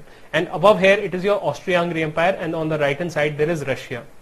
Now for the purposes of Straits of Dardanelles, if you see that this is your Black Sea, this is your Crimea, this is your USSR after the World War One. So therefore, th this is your Black Sea. Now, if Russia it wants to trade, so therefore its trade would have to happen through the Mediterranean Sea because Russia it is a northern power और ये सारा काफी सारा पानी जमा हुआ है plus आपको यहाँ से कितना लंबा आना पड़ेगा so therefore Russians they want their trade to move through the Black Sea into the Straits of Dardanelles these are the Straits of Dardanelles these are the Straits of Dardanelles यहाँ पे right on the right hand side you have the Ottomans or the Turkey and on the left hand side you have this Balkan right and earlier there was this Austria-Hungary Empire which had its designs in the Balkans, which had its aspiration to control the Balkans. Now, since Ottoman Empire and USSR, they are neighbors, traditionally they have also fought. So around the time period of 1850s, there was this Crimean War also between Russia and Ottomans. They are neighbors, they are enemies. Itna samajh lijiye. Second aspect is your Austria-Hungary and Germany, they are also enemies of USSR. Again, Russia. That is because they are neighbors. So therefore, as a result, what we see when the Austria-Hungary, it is a friend of Germany. so when Austria-Hungary's influence it is increasing in this area then what will happen यहाँ पे मेरा enemy आ जाएगा here will be my enemy Ottomans are my enemy they can any day choke my trade so therefore I want access to sea Russia has always desired access to warm waters why because it is a northern country and access to warm waters it is very important. What is the relevance of this point in the current affairs? Today when the arctic ice it is melting it is very good for russia. Russia is very happy that the arctic ice is melting so that it can trade from the north itself right? So therefore that is the situation that is there. This is the straits of dardanelles and russia wants that these straits of dardanelles they should always remain open to the russian trade and it does not want this area to be dominated by the Austria-Hungary Empire and the Germans. Why? Because they are enemies of Russia. And here you see Turkey it is there. Because uh, also remember 1894 Russia France military alliance which was there right it was with respect to Germany only. So France promised that if Germany attacks Russia I will help Russia. The Russia promised that if Germany attacks France I will help you. So neighbors are usually enemies and neighbors neighbor are friend so therefore अगर यहाँ पे हम देखें कौन कौन neighbours neighbour हैं so you see neighbors are usually enemies neighbors neighbor are friend neighbors are usually enemies so this neighbors are usually enemies austria hungary serbia neighbors are usually enemies right neighbors are enemies russia और यहाँ पे ottoman so this basic principle that usually because of geography neighbors are enemies like india and pakistan are enemy india and china they are enemy whereas china and pakistan they are friends right? So therefore that kind of thing it operates in the world affairs. So anyways coming back to our slide. So this is what we are saying. This is the concern of Russia and therefore what is the issue? Therefore there existed therefore there existed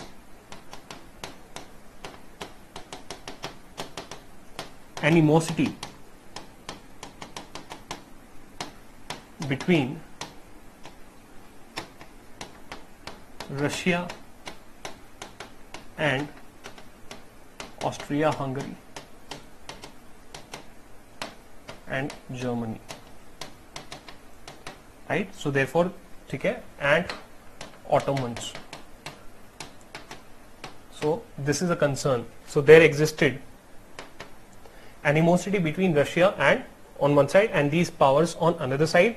Second aspect which is related to it is point number C भी यहाँ पे mention कर सकते हैं point number C. So Serbia it was an ally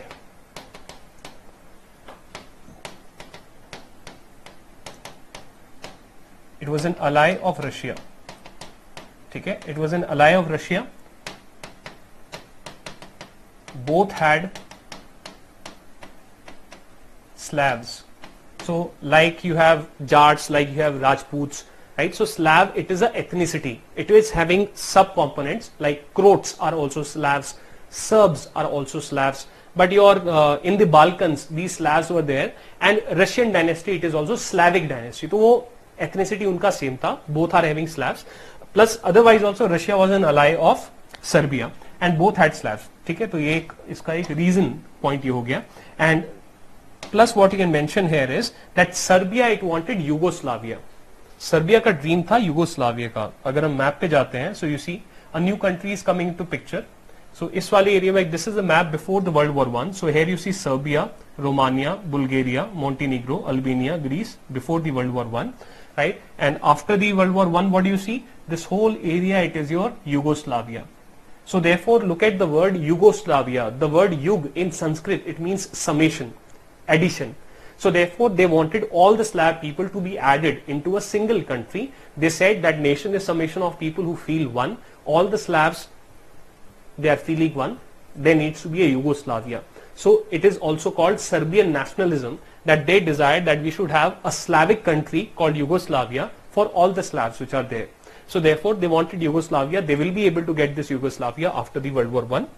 ठीक है इसके अगर एक और मैप में अगर आपको दिखाऊं तो यहाँ पे भी आप देखिए this is whole of your Yugoslavia earlier here it was Serbia right so now the problem is that your Austria Hungary empire this Austria-Hungary Empire, it was a multi-ethnic empire, meaning in the Austria-Hungary Empire, there were Serbs also, there were Slavs also, there were Czechs also, there were Slovaks also, there were Germans also. So therefore, Austria-Hungary Empire, it is against this idea that uh, nation is summation of people who feel one and each nation should have its own territory. Because if each nation have its own territory, then it will result in territorial disintegration of Austria-Hungary Empire. The Czechs within the Austria-Hungary Empire, they will want their Czech Republic. The Slovaks within the Austria-Hungary Empire, they will want their Slovakia. The Germans within the Austria-Hungary Empire, they would want to be part of Germany. The Slavs within the Austria-Hungary Empire, they want to be part of Yugoslavia. As a result, the Austria-Hungary Empire, it will disintegrate. It is something like if today people start saying that Tamil are a nation and they should have their own country, it will result in Tamil Nadu going out of India. People start saying that uh, Kannadas or Kannadigas, they are separate nation and they should have their own country. It will result in separation of Karnataka from India. Similarly, Nagaland will go out of India. So therefore, that kind of a thing. And that's why uh, being an Indian is of paramount importance. That is, you are an Indian first and you are a Naga later or you are a Tamil later. So therefore, this is your Indian nationalism right? So therefore, this is the kind of thing, and uh, those forces which uh, uh, support uh, this Tamil nationalism or Kannadiga nationalism, uh, if they become extreme, then they can also hurt the territorial integrity of India, right? So the religion-based nationalism can also be there, that all of us are Sikh, and therefore we want Khalistan. So that can also hurt territorial integrity of India. So this is the thing that your Austria-Hungary Empire, it was a multi-ethnic empire, and that's why we need to take care of this particular aspect here. So therefore Serbia was an ally of Russia plus it wanted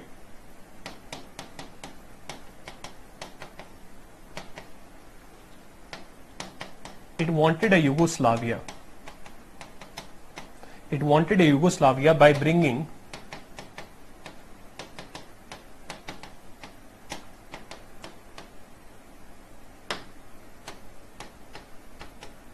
all, all Slavs all Slavs of Balkan. Together, right?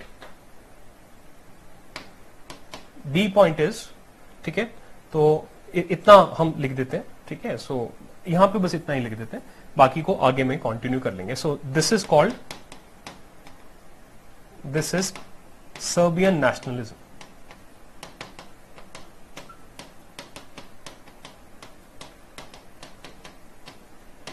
this is Serbian nationalism right यहीं पे भी लिख सकते हैं, अब जगह तो है तो यहाँ पे लिख सकते हैं which threatened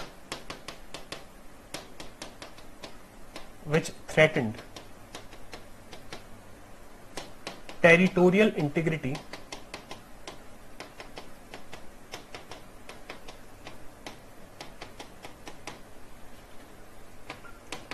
of Austria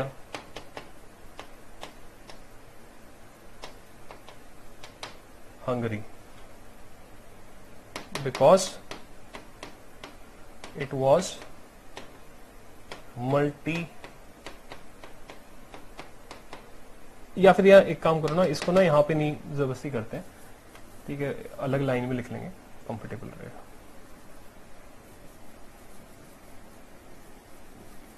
ठीक है? तो ठीक है आप इतना लिखिए नेक्स्ट स्लाइड में एक पॉइंट ऑस्ट्रिया हंगरी से रिलेटेड सेपरेट लिख लेंगे। So I give you one and half minute for this please write it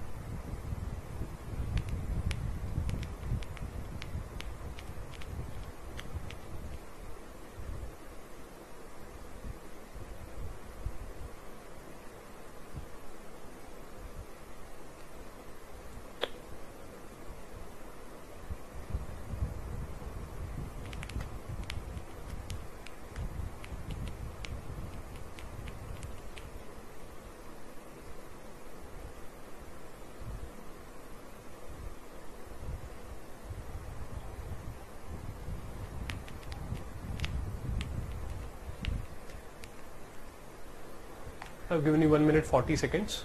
Please write down fast.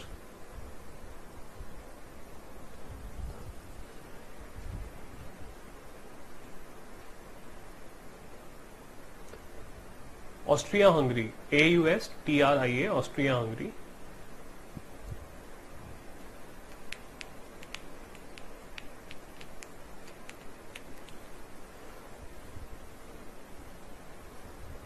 and therefore was anxious about uh, point number A is wanted freedom of navigation through states of Dardanelles and therefore was anxious about Austria-Hungary Empire's designs aspirations in Balkan therefore there existed animosity between Russia and Austria-Hungary and Germany and Ottomans okay so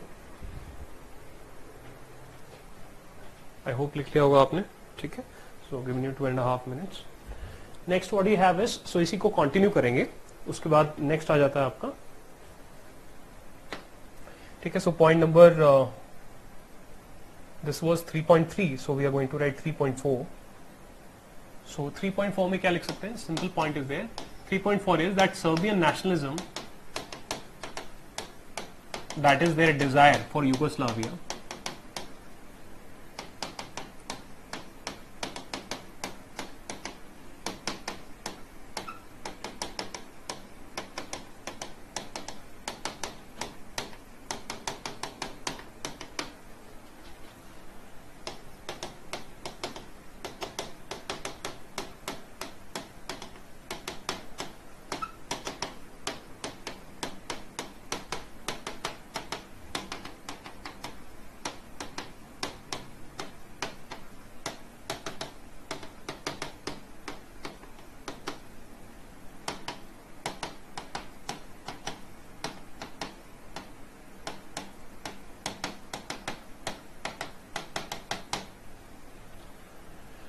So Serbian nationalism it threaten territorial integrity of Austria Hungary Empire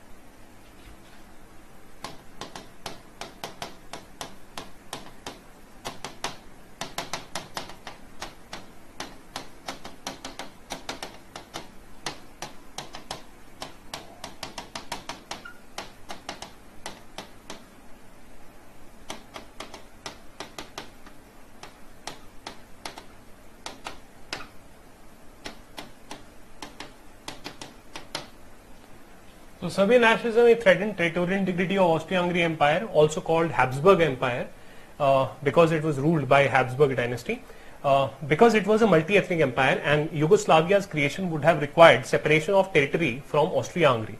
Therefore, there existed animosity between Austria-Hungary and Serbia as well.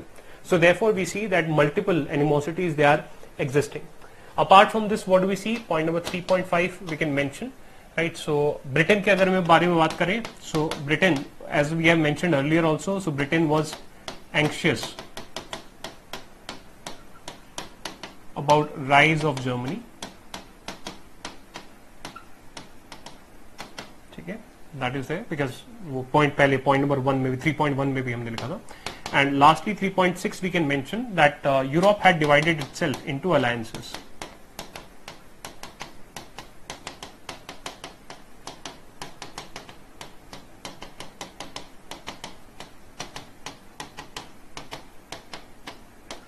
Which increased chances of a world war which increased chances of a bilateral war getting converted into a multilateral war.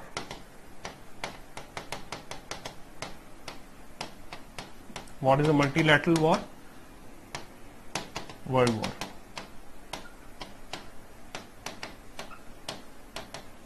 Right, so Europe had divided itself into alliances. For example,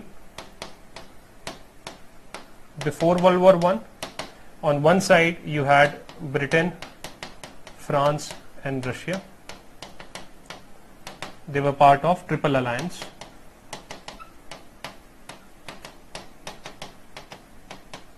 Sorry, they were part of Triple Entente.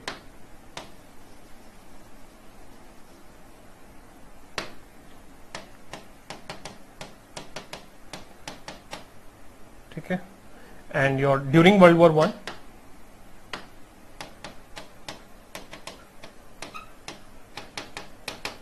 they are called allied powers. ठीक है तो उनका ये नाम change हो गया। Pre World War One point number B अगर देखें so there was your pre World War One there was Italy on one side Italy plus Germany plus Habsburg that is Austria-Hungary, they were on one side, and they were called Triple Alliance. However, during the World War One, your Italy switched sides. Italy switched sides, and uh, these are getting converted. They are called, okay, and uh, during World War One, they are called as Central Powers So we'll come to that कि central powers में exactly कौन कौन थे. So that part we'll discuss. But this is how your things are operating. So these are overall the reasons for the World War One. And lastly, point number 3.7, you can mention that there was public support to war. There was public support to war because of high nationalism.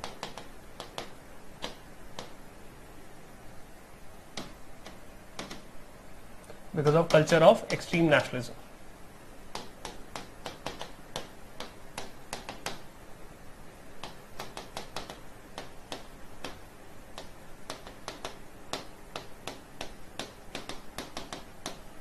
So therefore public also supported war. कि हाँ ठीक है लड़ाई लड़ लो क्या हो गया right so there, this is how we complete the reasons for the World War One. These are the different disputes which are happening.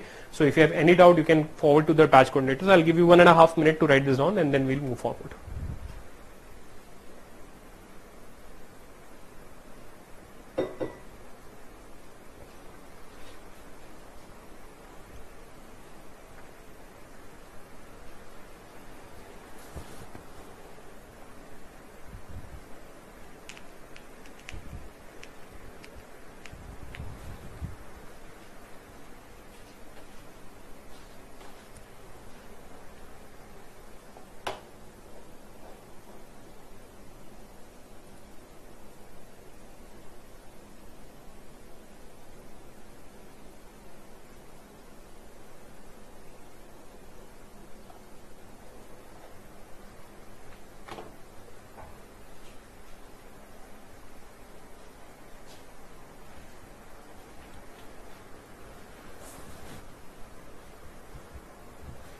Another 30 seconds I'll give you.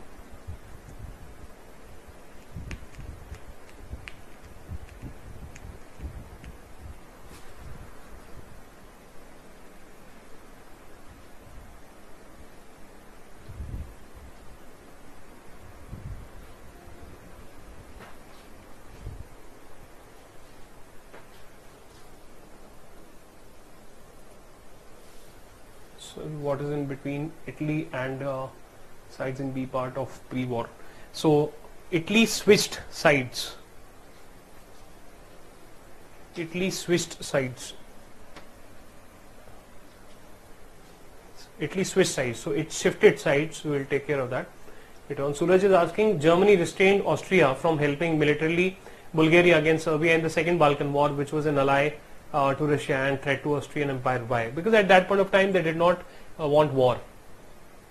At that point of time, Germany did not want uh, the issue to escalate into a war.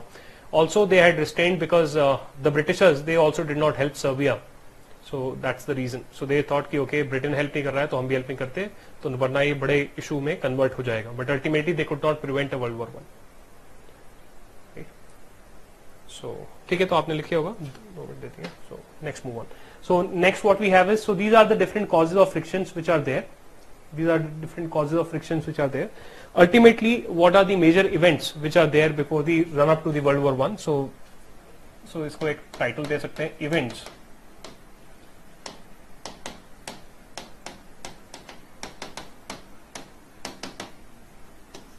How did the tensions escalate? Tension किस किस तरह so ये तो आपके uh, thematic reasons हो गए. So actually how the tensions they escalated. So for example, earlier we have discussed point number one, Moroccan crisis, 1906. This increased tensions between this increased tensions between Germany on one side and France and Britain on other side, right? So in the Moroccan crisis, we have seen that how Germany was isolated. We have discussed it during the colonialism in Africa. Then what do we see? 1906 ये हुआ उसके बाद क्या हो रहा है? उसके बाद देखो 1907 Britain Russia agreement and what is the result of this Britain Russia agreement Germany's encirclement is complete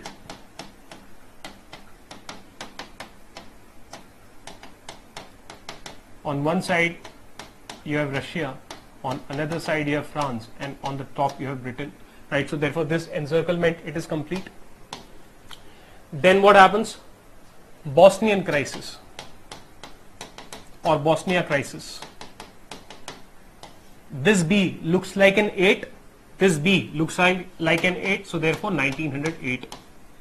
What happened in the Bosnian crisis?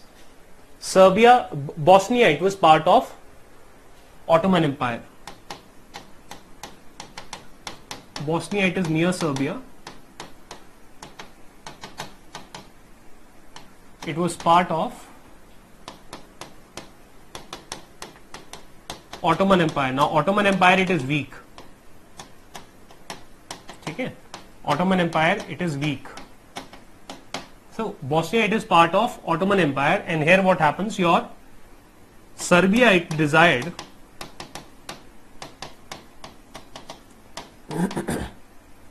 Serbia it desired Bosnia for Yugoslavia. Serbia it desired Bosnia for Yugoslavia, right? But here you see what happens. Austria Hungary Empire बड़े चालू तरीके से add कर रहा है offense is the best way of defense. So they now what they say is that instead of giving you my Slavic territory for creation of Yugoslavia, I am going to take away even take even more Slavic territory. So here the Austro-Hungary Empire it annexed Bosnia from the Ottoman Empire.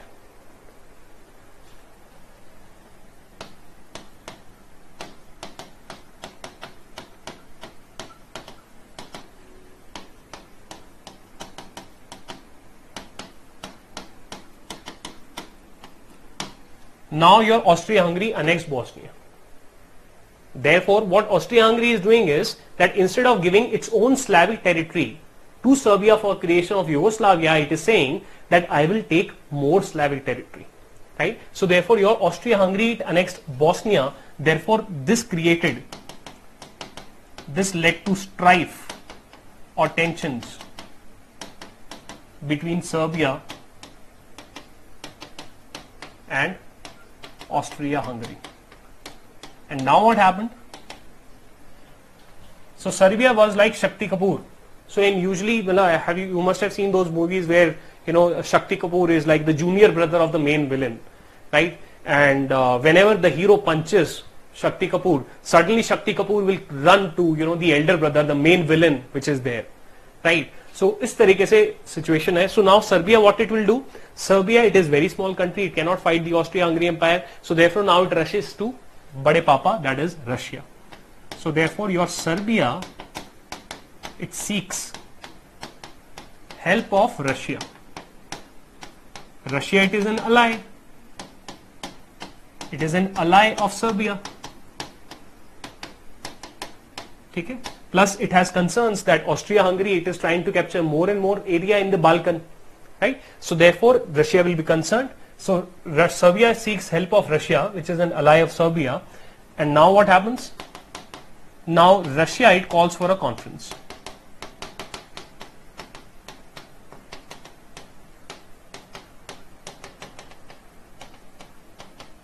Russia calls for a conference. At this point of time, Britain and France, they were pretty sure that Germany, which is an ally of Austria-Hungary, will go to war in favor of Austria-Hungary. Britain and France, they wanted to avoid war. So therefore, they did not even attend this conference. They did not even attend this conference. So Russia therefore calls for a conference, but Britain and France don't attend because felt that Germany will go to war in favor of Austria-Hungary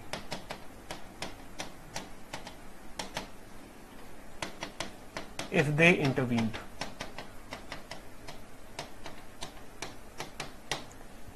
So therefore they did not enter. Why? Because they do not want war at that point of time. Right? Economy will get hurt and all of these things are there. So therefore this is the thing. What is the net result? सूरज आपका question लेता हूं what is the अच्छा आपका हाँ आपको लेता हूं question what is the net result the net result is that now Russia is humiliated so therefore now what happens therefore russia gets humiliated कि भैया मैं कॉन्फ्रेंस बुला रहा हूँ और कोई आ भी नहीं रहा। Russia get simulated and now it start its militarization that is it will start deploying money on developing a military so it now start its militarization so can deal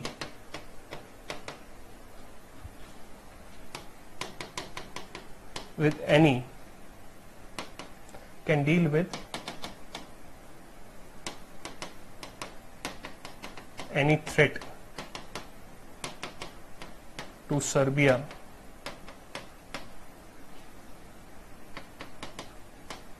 from Austria-Hungary in future.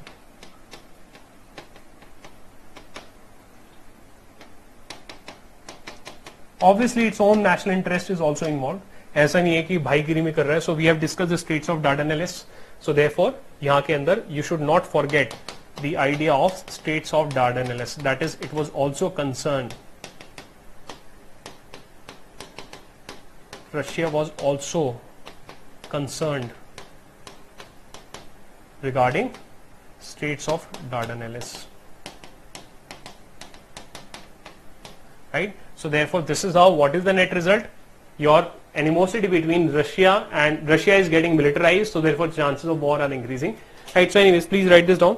And meanwhile, I'll take the question from Suraj. Suraj is saying Germany restrained Austria from helping militarily Bulgaria and Serbia. हाँ तो ये तो discuss कर ही लिया ना ठीक है so please write this down and will move forward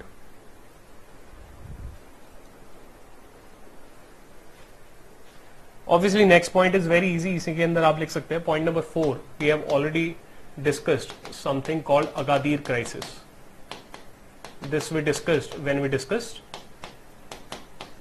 when we discussed colonialism in Africa that is Agadir island it was captured by Germ- uh, Germany. And then a conference was held. Germany was again isolated right? So this Agadir crisis it led to further increase in Germany versus Britain and France rivalry. Right so ये हम discuss कर चुके हैं अगादीर crisis जिन students को याद नहीं है please refer to your previous class notes उस टाइम पे ज़्यादा टाइम इसीलिए लगाया था ताकि अब टाइम ना लगे। Vishwanath is asking sir why Austria took Ottoman territory because it was far far away from Turkey first point and Ottoman empire it was weak so therefore it took it so anyways the Ottoman empire it is weak and it is right in the Bosnia it is in the backyard of Austria-Hungary, so therefore they are capturing it. Control तो उनका पहले ही था formally annex भी कर लिया इन्होंने Ottoman empire का headquarter है Turkey so there for the Europeans they you know they are not very happy that Ottomans they have some territories in the Balkan area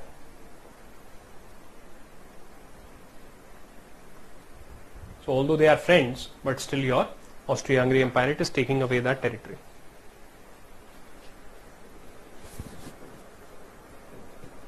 So I've given you two minutes. Please let me know if you are done. Last second line. Uh, therefore, Russia felt humiliated and now it starts its militarization so can deal with any threat to Serbia from Austria-Hungary in future. Agadir crisis, it led to increase in Germany versus Britain and France rivalry. Russia also concerned regarding straits of Dardanelles.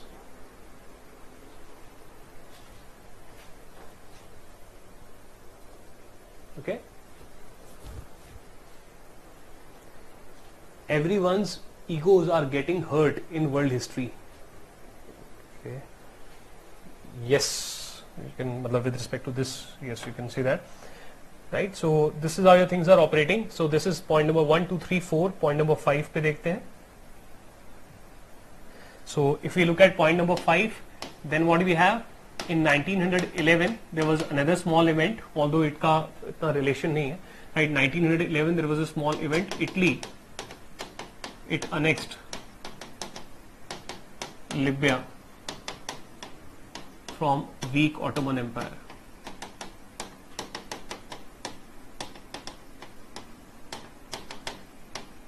ठीक है, so from weak Ottoman Empire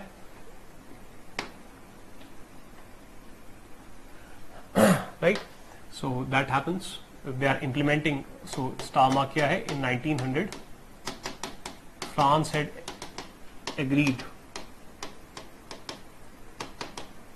to Italian control of Libya so this we discuss in the colonialism in Africa right so therefore this is how your things are operating next what we have are the two Balkan wars so point number six, it is the first Balkan War. So in the first Balkan War, what happened? Around it happened in 1912, and basically here these small small Balkan powers they took away all the territory. They uh, took away all the territory of the Ottoman So here what is happening is that the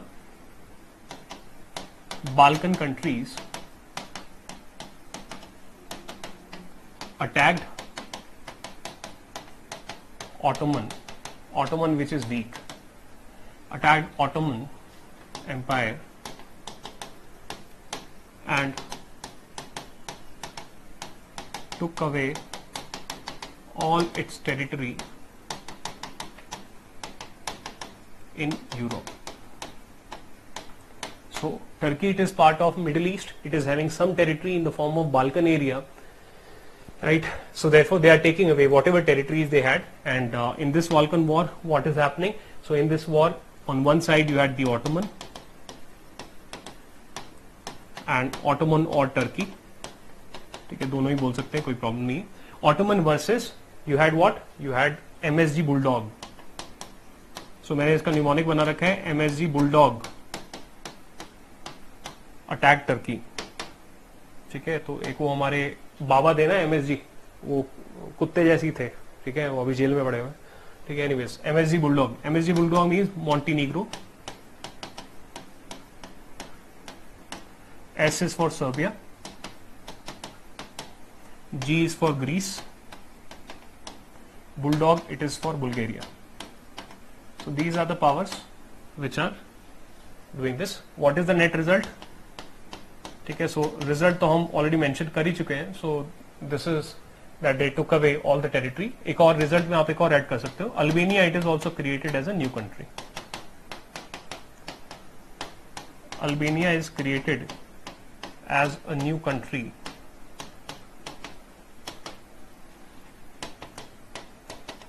Instead of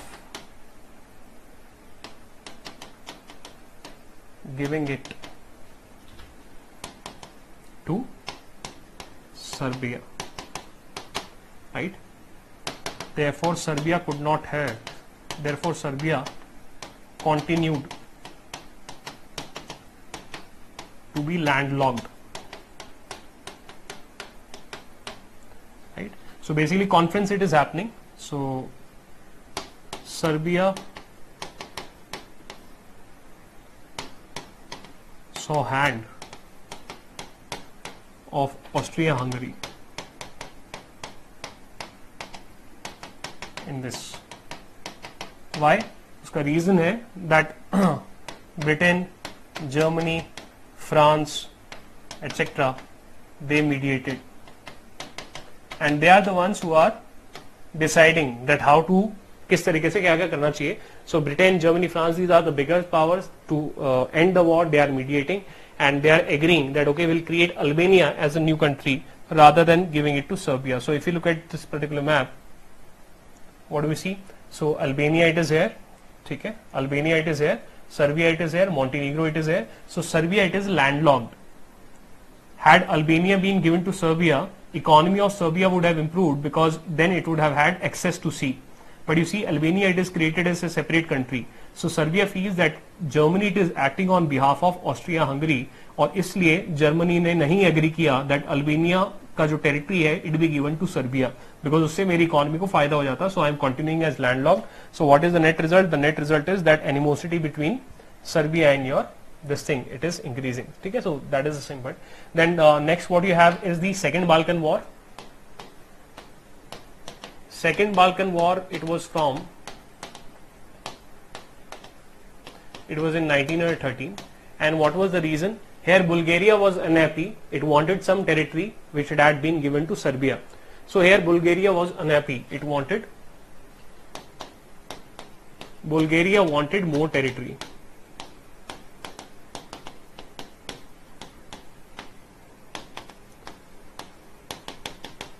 right and therefore ये लड़ाई किसके बीच में हुई on one side you had Bulgaria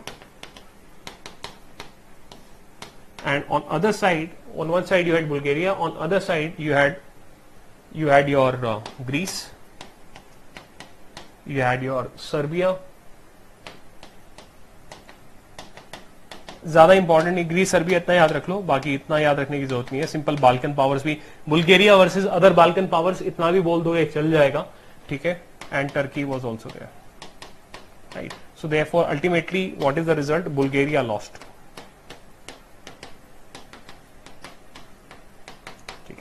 so this is what is happening ठीक है तो इतना ही important है, उससे ज़्यादा करने की ज़रूरत नहीं है and ultimately what is happening is point number eight point number eight is assassination of archduke of Austria-Hungary.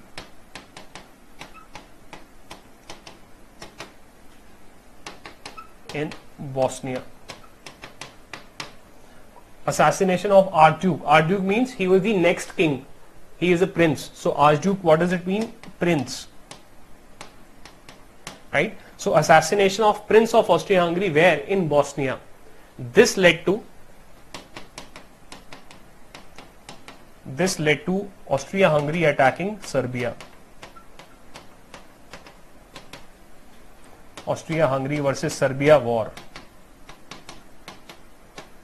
And this war led to World War One. So therefore, this is how your things are operating. I'll give you a couple of minutes to write this down. Please be fast.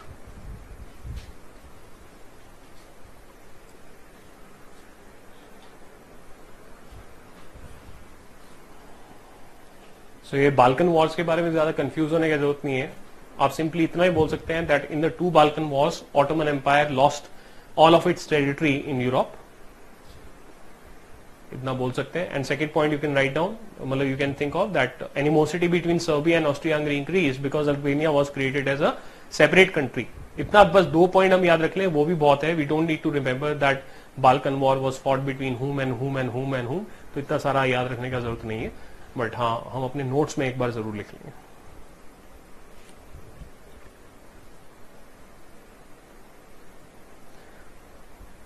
Turkey lost now. So Balkan countries attacked Ottoman Empire and took away all its territory in Europe. So it is obvious that Turkey lost.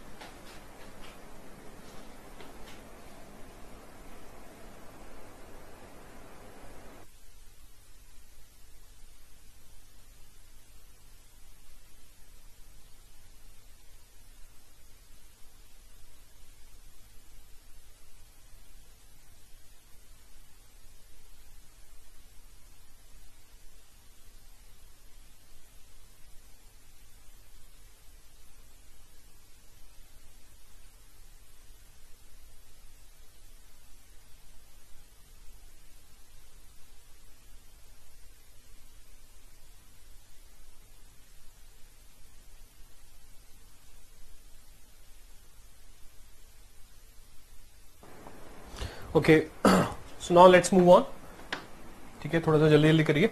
Time भी कम रह गया क्योंकि। ठीक है anyways तो we are half an hour तो इसको तो वर्ल्ड वॉर वन को तो कंप्लीट करेंगे। ठीक है तो इस तरीके से चीज़ें चल रही हैं। Now the question that comes is that why this Austria Hungary versus Serbia war got converted into a world war why and how Austria-Hungary versus Serbia dispute. So basically Austria-Hungary, they said that the terrorists who have killed the prince, they are sponsored by Serbia. So it was a terrorist attack on the on the life of prince. So this is how you're happening. So why and how Austria-Hungary versus Serbia got converted, conflict, got converted into a world war.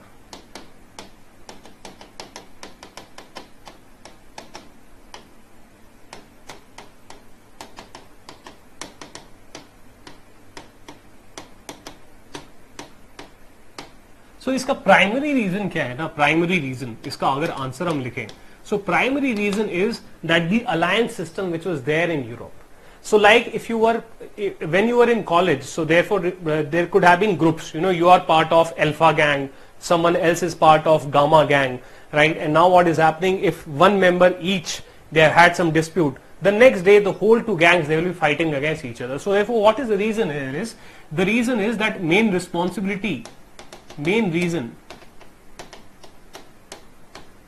was the alliance system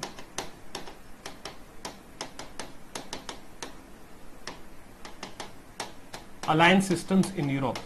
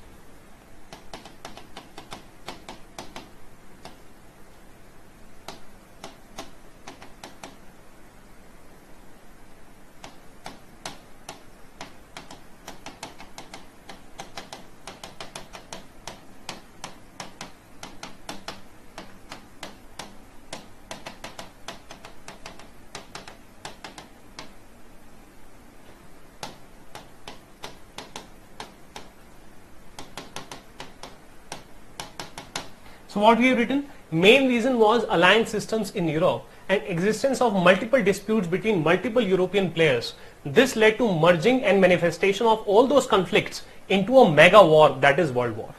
Right? So this is your into is maybe conflicts into a mega war that is into a mega war that is your world war okay so therefore this is how your things are operating. This led to merging and manifestation of all those conflicts so this is the net crux. However how the things are going on? The things are going on like this. See the series of events. How the line system is working. Have you seen the movie kate? In the movie Kate or the Reservoir Dogs, if you have seen. So what happens is there are gangs. So if I am Amitabh Bachchan and I have put a you know pistol on your head, then what will happen? Some other person who is your friend, he will put a pistol on my head. Then some my friend would put a pistol on his head. And ultimately, when one person fires, everyone fires and everyone dies. That is what happens. Right? So therefore, you can see that particular scene from Kate movie. Kate movie last scene. Go ahead and see and you will be able to see that what is happening here. So what is happening here is, is see this. First of all, your after the assassination of Archduke, your Austria-Hungary Empire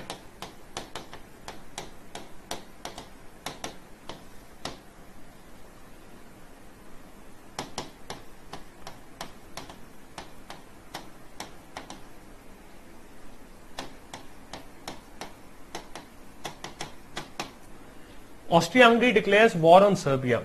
now Serbia का friend कौन है Russia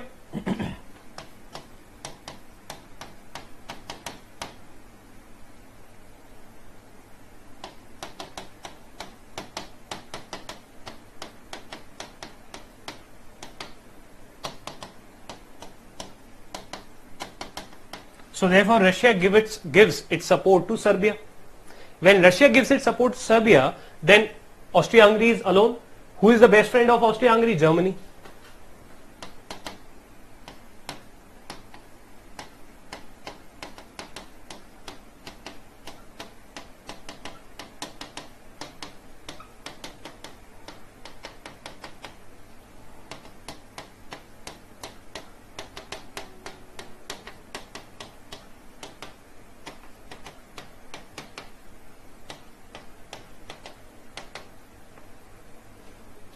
Germany now threatens Russia to back off, else Germany will support Austria-Hungary in a war. Right? That means the war will be Germany plus Austria-Hungary versus Serbia plus Russia. तो अभी क्या situation होगी अभी situation होगी ये Germany plus Austria Hungary देखो कैसे बढ़ेंगे versus Russia plus Serbia this is the situation ठीक है ये देखो और एक्सपैंड होगा now what happens is so germany threatens russia to back off else germany will support austria hungary right now what happens russia does not back off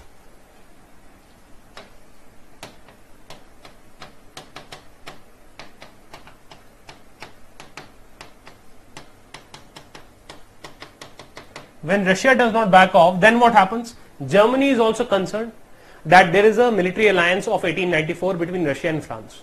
So if I fight a war with Russia, then from the left hand side France will attack me because Russia and Germany, uh, Russia and France they have a military alliance. Therefore, to prevent fighting war on two fronts, two fronts means on the right hand side there is a front between Russia and Germany, war is going on and on the left hand side there is a front between France and Germany. So therefore, if I fight a war on two fronts, then my army gets divided into two. So therefore, let me let me surprise France and let me attack France. So basically, now what Germany does? So Germany declares war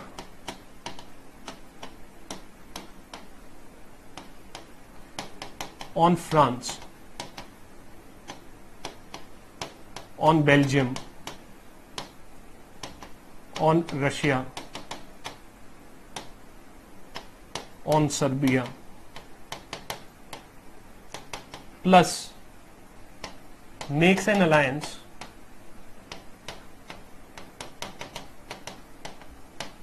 of Ottoman plus Austria-Hungary plus itself that is Germany. अब सवाल ये आता है why did it declare why did it attack France? So here what you can say so basically France को attack इसलिए किया because of so what is the reason? So reason is reason was number one. First is the France Russia military alliance. So therefore obviously Russia thought uh, Germany thought that if I attack Russia, France will definitely come. So therefore, why do not I surprise France? So therefore, military alliance of 1894. Second is why Belgium? So basically, there was a plan called Schlieffen Plan. So it was part of a military strategy that if we attack France through Belgium, if we attack France through Belgium, then we will be able to defeat France in six weeks. This was Schlieffen Plan. That's why they attacked Belgium also. So there was this plan called Schlieffen Plan. What does it said? It said that attack France via Belgium to defeat it in six weeks. What will be the benefit?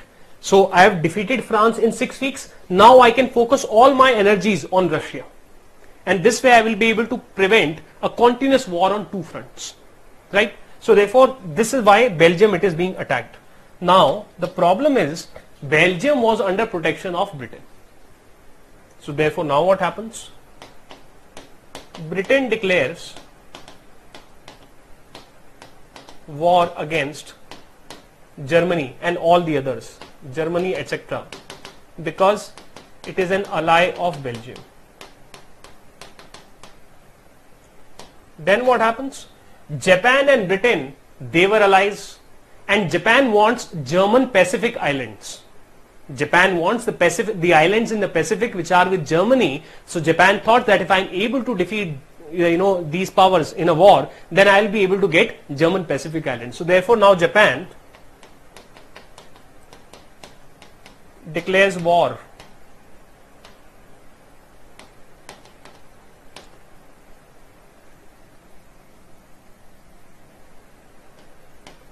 on Germany etc because wanted German Pacific Islands.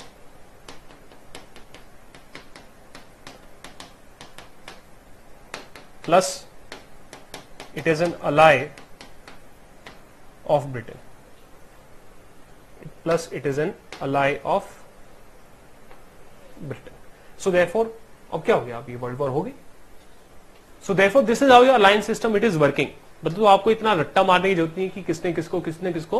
But for depiction कि how this alliance system is working this is how your things are taking place right so this is the major aspect of your how your world war one it is happening so please write it down I give you couple of minutes after against Germany Japan declared uh, Britain declares wars against Germany etc because ally of Belgium. So because Britain is an ally of Belgium. ठीक है? So Britain declares war against Germany etcetera because Germany Austria Hungary empire Ottoman empire सब कुछ because it is an ally of Belgium Japan declares war on Germany etcetera because wanted German Pacific island plus Japan is ally of Britain right so therefore this is how your a small bilateral conflict it is getting converted into world war please write it down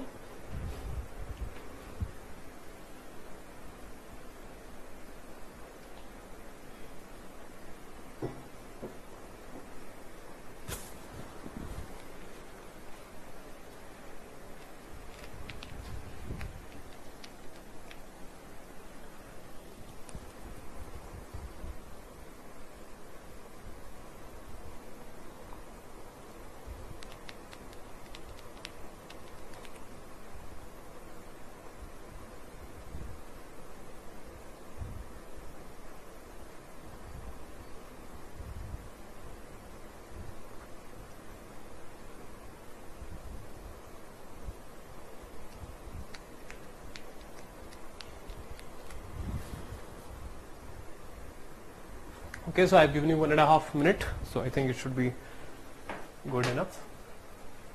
I'll give 10 more seconds for students who are yet to write it down. So this is how your World War One is happening. These are the major reasons.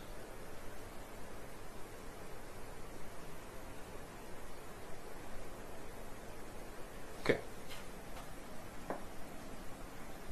Next is during the World War One. So basically, what are the major the events? We are only going to talk about major events. How they happen. So first point is Britain defeated Germany in war at sea.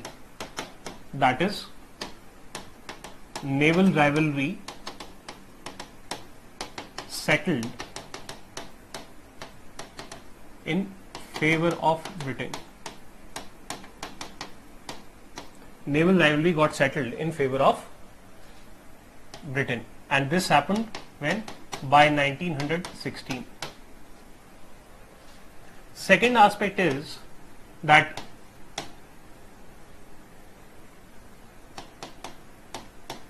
two front war continued for Germany. That is Germany versus France on western front plus Germany versus Russia on eastern front. Two front war continued for Germany and any country which is fighting war on two fronts, it is a big disadvantage. And why this two front war continued? Because Schlieffen plan failed. Schlieffen plan कहता था that within six weeks we will be able to defeat France, but they were not able to defeat France. Schlieffen plan failed. Why did the Schlieffen plan fail? The Schlieffen plan failed because of trench warfare. Because of something we call trench warfare. Because of stalemate.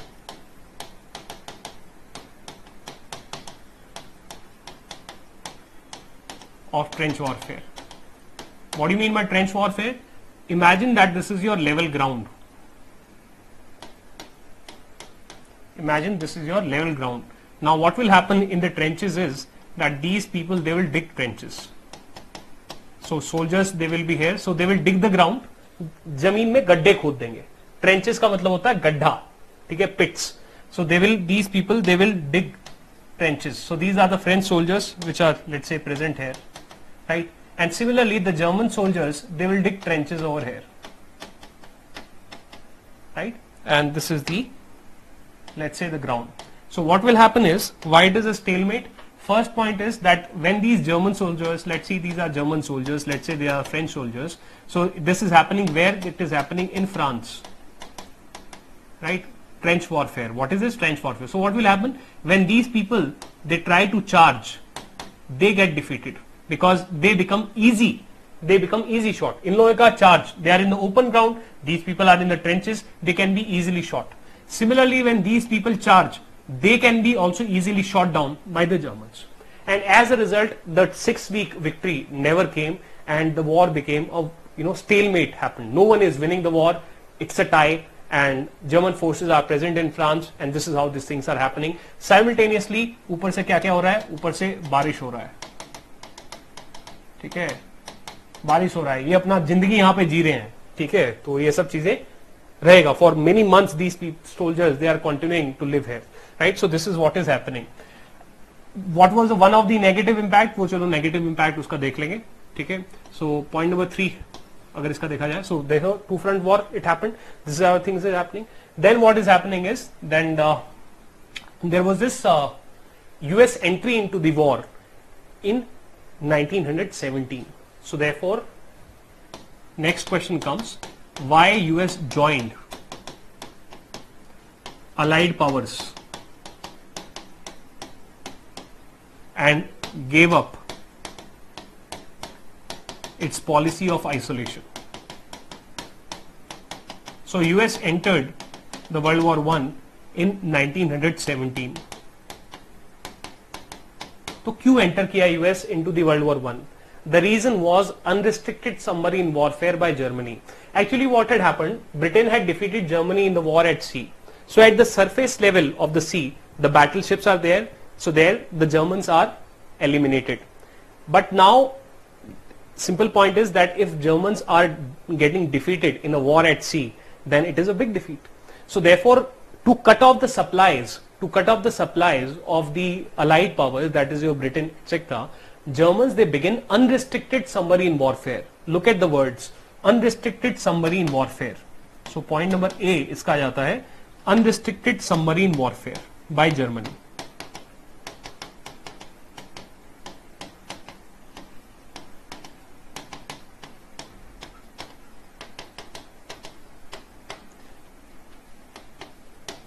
by Germany led to destroying of US merchant vessels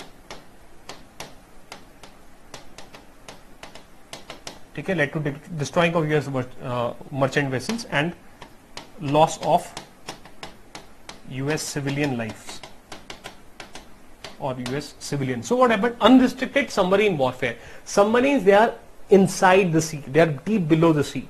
So what will happen in a submarine warfare is that imagine that if this is your submarine which is there.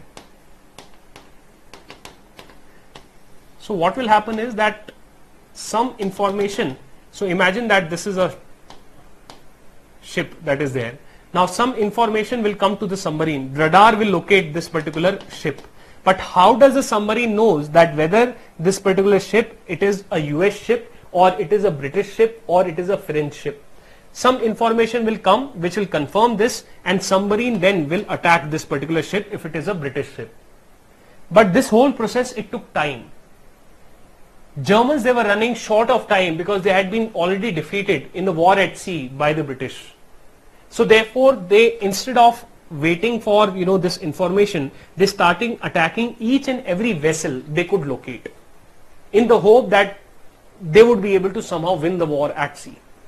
They started attacking each and every ship without caring that whether it is an enemy ship or it is a neutral ship. This is known as unrestricted submarine warfare by Germany led to destroying of US vessels and loss of US civilians life. This is the unrestricted submarine warfare. What is the meaning of unrestricted submarine warfare? Without confirming, that is यहाँ पे star mark करके लिख सकते हैं, that is without confirming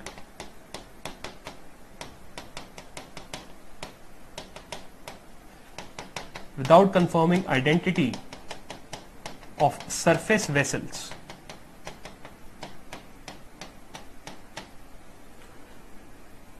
without confirming identity of surface vessels. That is the meaning of unrestricted. The word unrestricted, it means without confirming the identity of the surface vessels. And therefore US, which is not part of this war, now it enters into this war.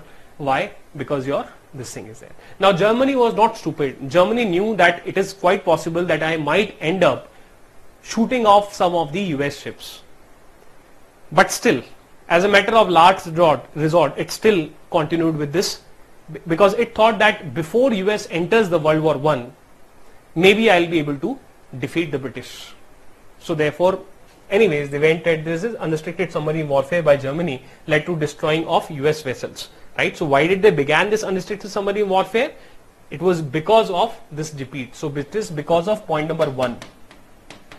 Because of point one. They were desperate. So because of point one, that is Britain has already defeated them at the war at sea. So therefore now they are beginning this, right? So that's why your, that's why your Germany, andhadhun firing, yes. So therefore this is how your things are operating. Okay, unrestricted. This is how your US enters. Then apart from this, uh, ठीक है, so this is how your thing is. Uh, second point एक और ठीक है वो उतना detail में जाने की ज़रूरत नहीं ठीक है। तो वो एंटर हो गया इसमें। यूएस एंटर हो गया। ठीक है apart from this what is the situation और क्या है? अनरिस्ट्रिक्टेड समर इन वॉरफेयर ठीक है। तो बेसिकली अब अल्टीमेटली इस पे रिज़ल्ट पे आ जाएँगे। So what is the result result is obvious Germany lost why what are the reasons first reason you can mention अच्छा इसको ना नेक्स्ट स्लाइड में करेंगे जर्मनी लॉस्ट इसके रीजन नेक्स्ट स्लाइड में करेंगे ठीक है so you write this down I give you a minute for this ज़्यादा है नहीं इसमें So write this down and we'll write the reasons on the next page. War history, battle history, that is not part of UPSC syllabus. We are not studying for the ND exam. तो इतना हमने लिख लिया उतना बहुत है. Ultimately we need to, but, but we need to know why the Germans lost. So therefore that uh, analysis we'll do in the next slide. So please write this down.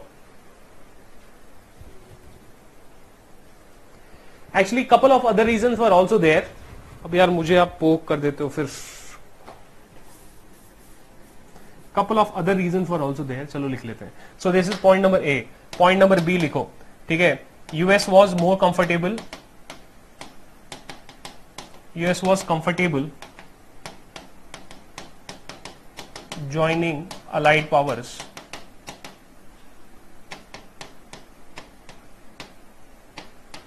as now Tsar was no more ruler of Russia.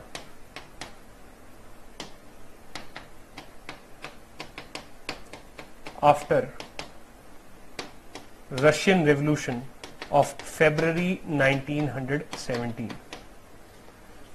So US is a democracy.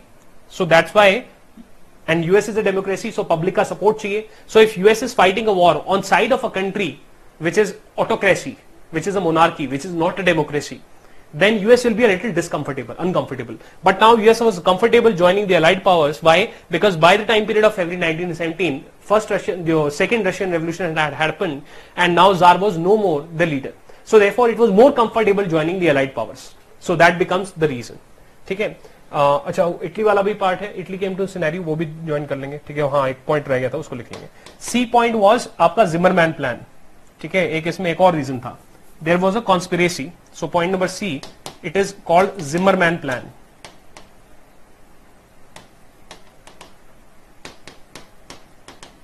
Of Germany Zimmerman was there foreign secretary सो और foreign minister ठीक है इस तरीके से सो Zimmerman plan Germany का क्या था Germany to delay the entry of the US in to world war one it wanted to insight Mexico to attack US so it was conspiracy which did not succeed so so, यहाँ पे क्या है? Zimmermann plan so basically it was a German conspiracy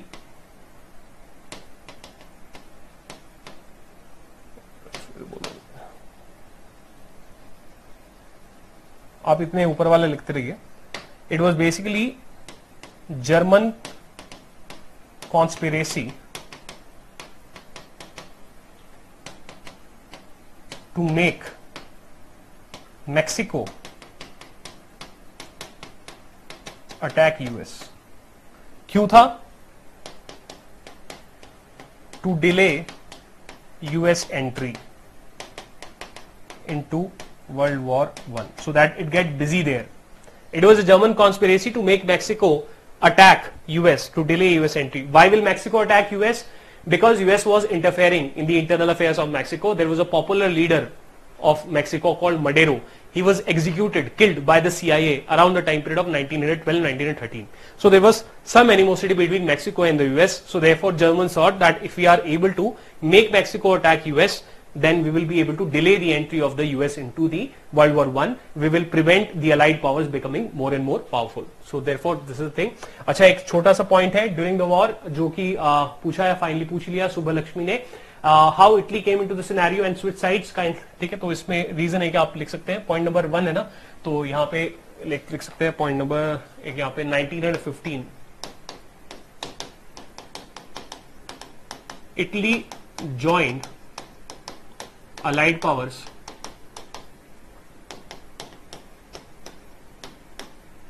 On promise of huge territory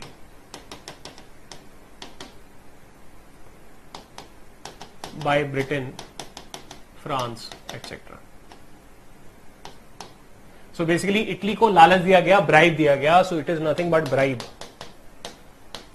so it is nothing but bribe so they कि तुम हमारी side से लड़ ले जब हम जीत जाएँगे तो ये बहुत सारी टेरिटरी दे देंगे। Second point is two front war contribute for Germany that is Germany versus France is one front Germany versus Russia is another front right so basically two fronts no country can afford fight on two fronts because Schlieffen plan failed. Schlieffen plan क्या करता? The plan was to defeat. What is Schlieffen plan? Schlieffen plan क्या है? Schlieffen plan is defeat France in six weeks. That is your Schlieffen plan. So they are unable to defeat France in six weeks. Why? Because Schlieffen plan failed. Why did the Schlieffen plan fail? Because of stalemate, which was created by trench warfare. In the trench warfare, लोग गड्ढे खोद दे रहे हैं ज़मीन में। जो बंदा ऊपर आ रहा है वो मर जा रहा है। अब ये अपनी ज़िंदगी यहीं पे जिएँगे कोई ना जीत रहा कुछ नहीं हो रहा यहाँ पे। ठीक है? तो दैट इज़ योर सिचुएशन ठीक है? तो please write it down and once you done please let me sir upper line not visible कौन सा लाइन नहीं विजिबल है? एक सेकंड देखने दो मेरे को। अच्छा। तो अपर लाइन में कुछ नहीं लिखा हुआ है Italy joined allied powers upper line में बस लिखा हुआ है इटली ज्वाइंट अलाइड पावर्स हाँ जूम आउट कर लेते हैं। ये भी अच्छा तरीका है। Italy joined allied powers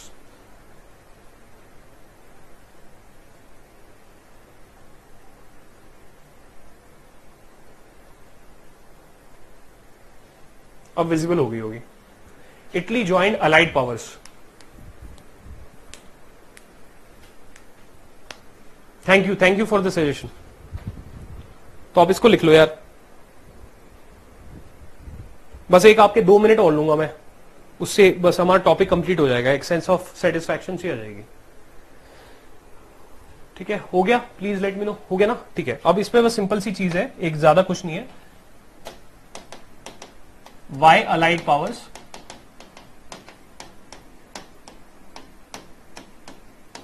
why allied powers one world war one तो इसमें सीधी सी बात है, पहली बात, अगर resource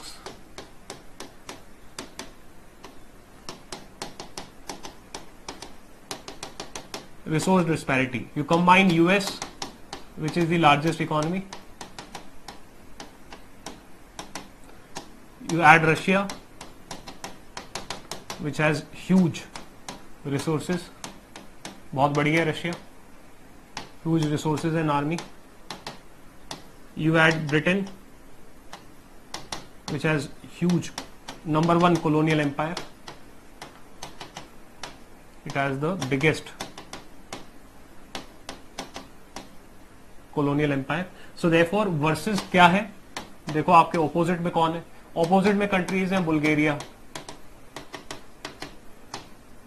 जर्मनी इतना बड़ा कॉलोनियल एम्पायर नहीं Ottoman which is already permanently weak Austria Hungary जिसके पास कोई कॉलोनियल एम्पायर है ही नहीं.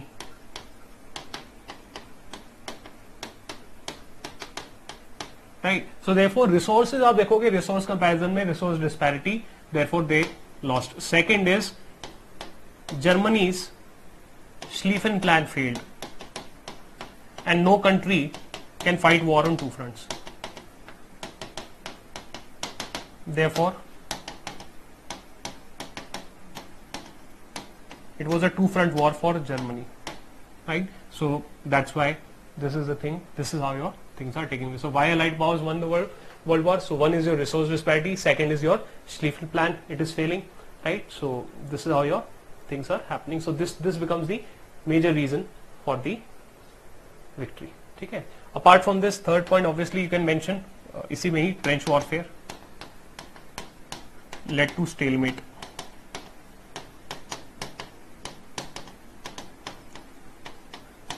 Okay. So, fourth point you can mention that your British Navy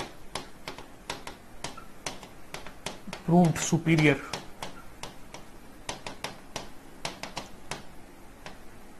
to German Navy. Right? So, this is how your things they are happening. सो इस तरीके से what is written after Mexico after Mexico क्या लिखा हुआ है जी? After Mexico लिखा हुआ है to delay German conspiracy to makes Mexico attack US छोटी छोटी चीज़ है ना? छोटी छोटी स्पेलिंग ऐसी सी हो जाती है जिससे समझ में नहीं आता बच्चों को। Attack attack US to delay US entry into world war one Mexico to attack US to delay US entry into world war one And lastly this. So on that note we end our class. In the next session we will be talking about the interwar years that is between the World War the impact of the World War One. बहुत simple है कि बहुत सारे लोग मरे बहुत economy down होगी बहुत सिंपल है कुछ नहीं है उसमें so inter war years and the run up to the world war to will be our topic of discussion I will making I I be sending across one particular piece of uh, PDF. Please read it. My humble request. So it will allow us to move on uh, with the syllabus. So thank you for your time and God bless you stay safe ठीक है? सो so, इस तरीके से है। आप करिए इसको लिखिए।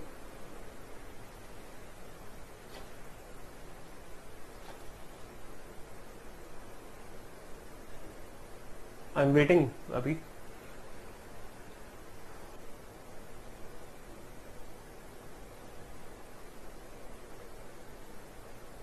ठीक है? So I hope your return I would like to just take two minutes more of you. So he was uh, Zulfikar sir. He was a amazing and brilliant teacher, very great human being, and very sadly we lost him uh, to COVID a um, couple of days back. So it is just I'm taking this opportunity to pay my respects to him and like he was like a very good human being and a very great teacher. Okay? So just uh, on that note my prayers would be with you and your families also.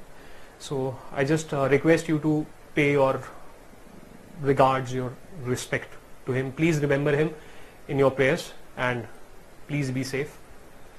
Thank you. God bless you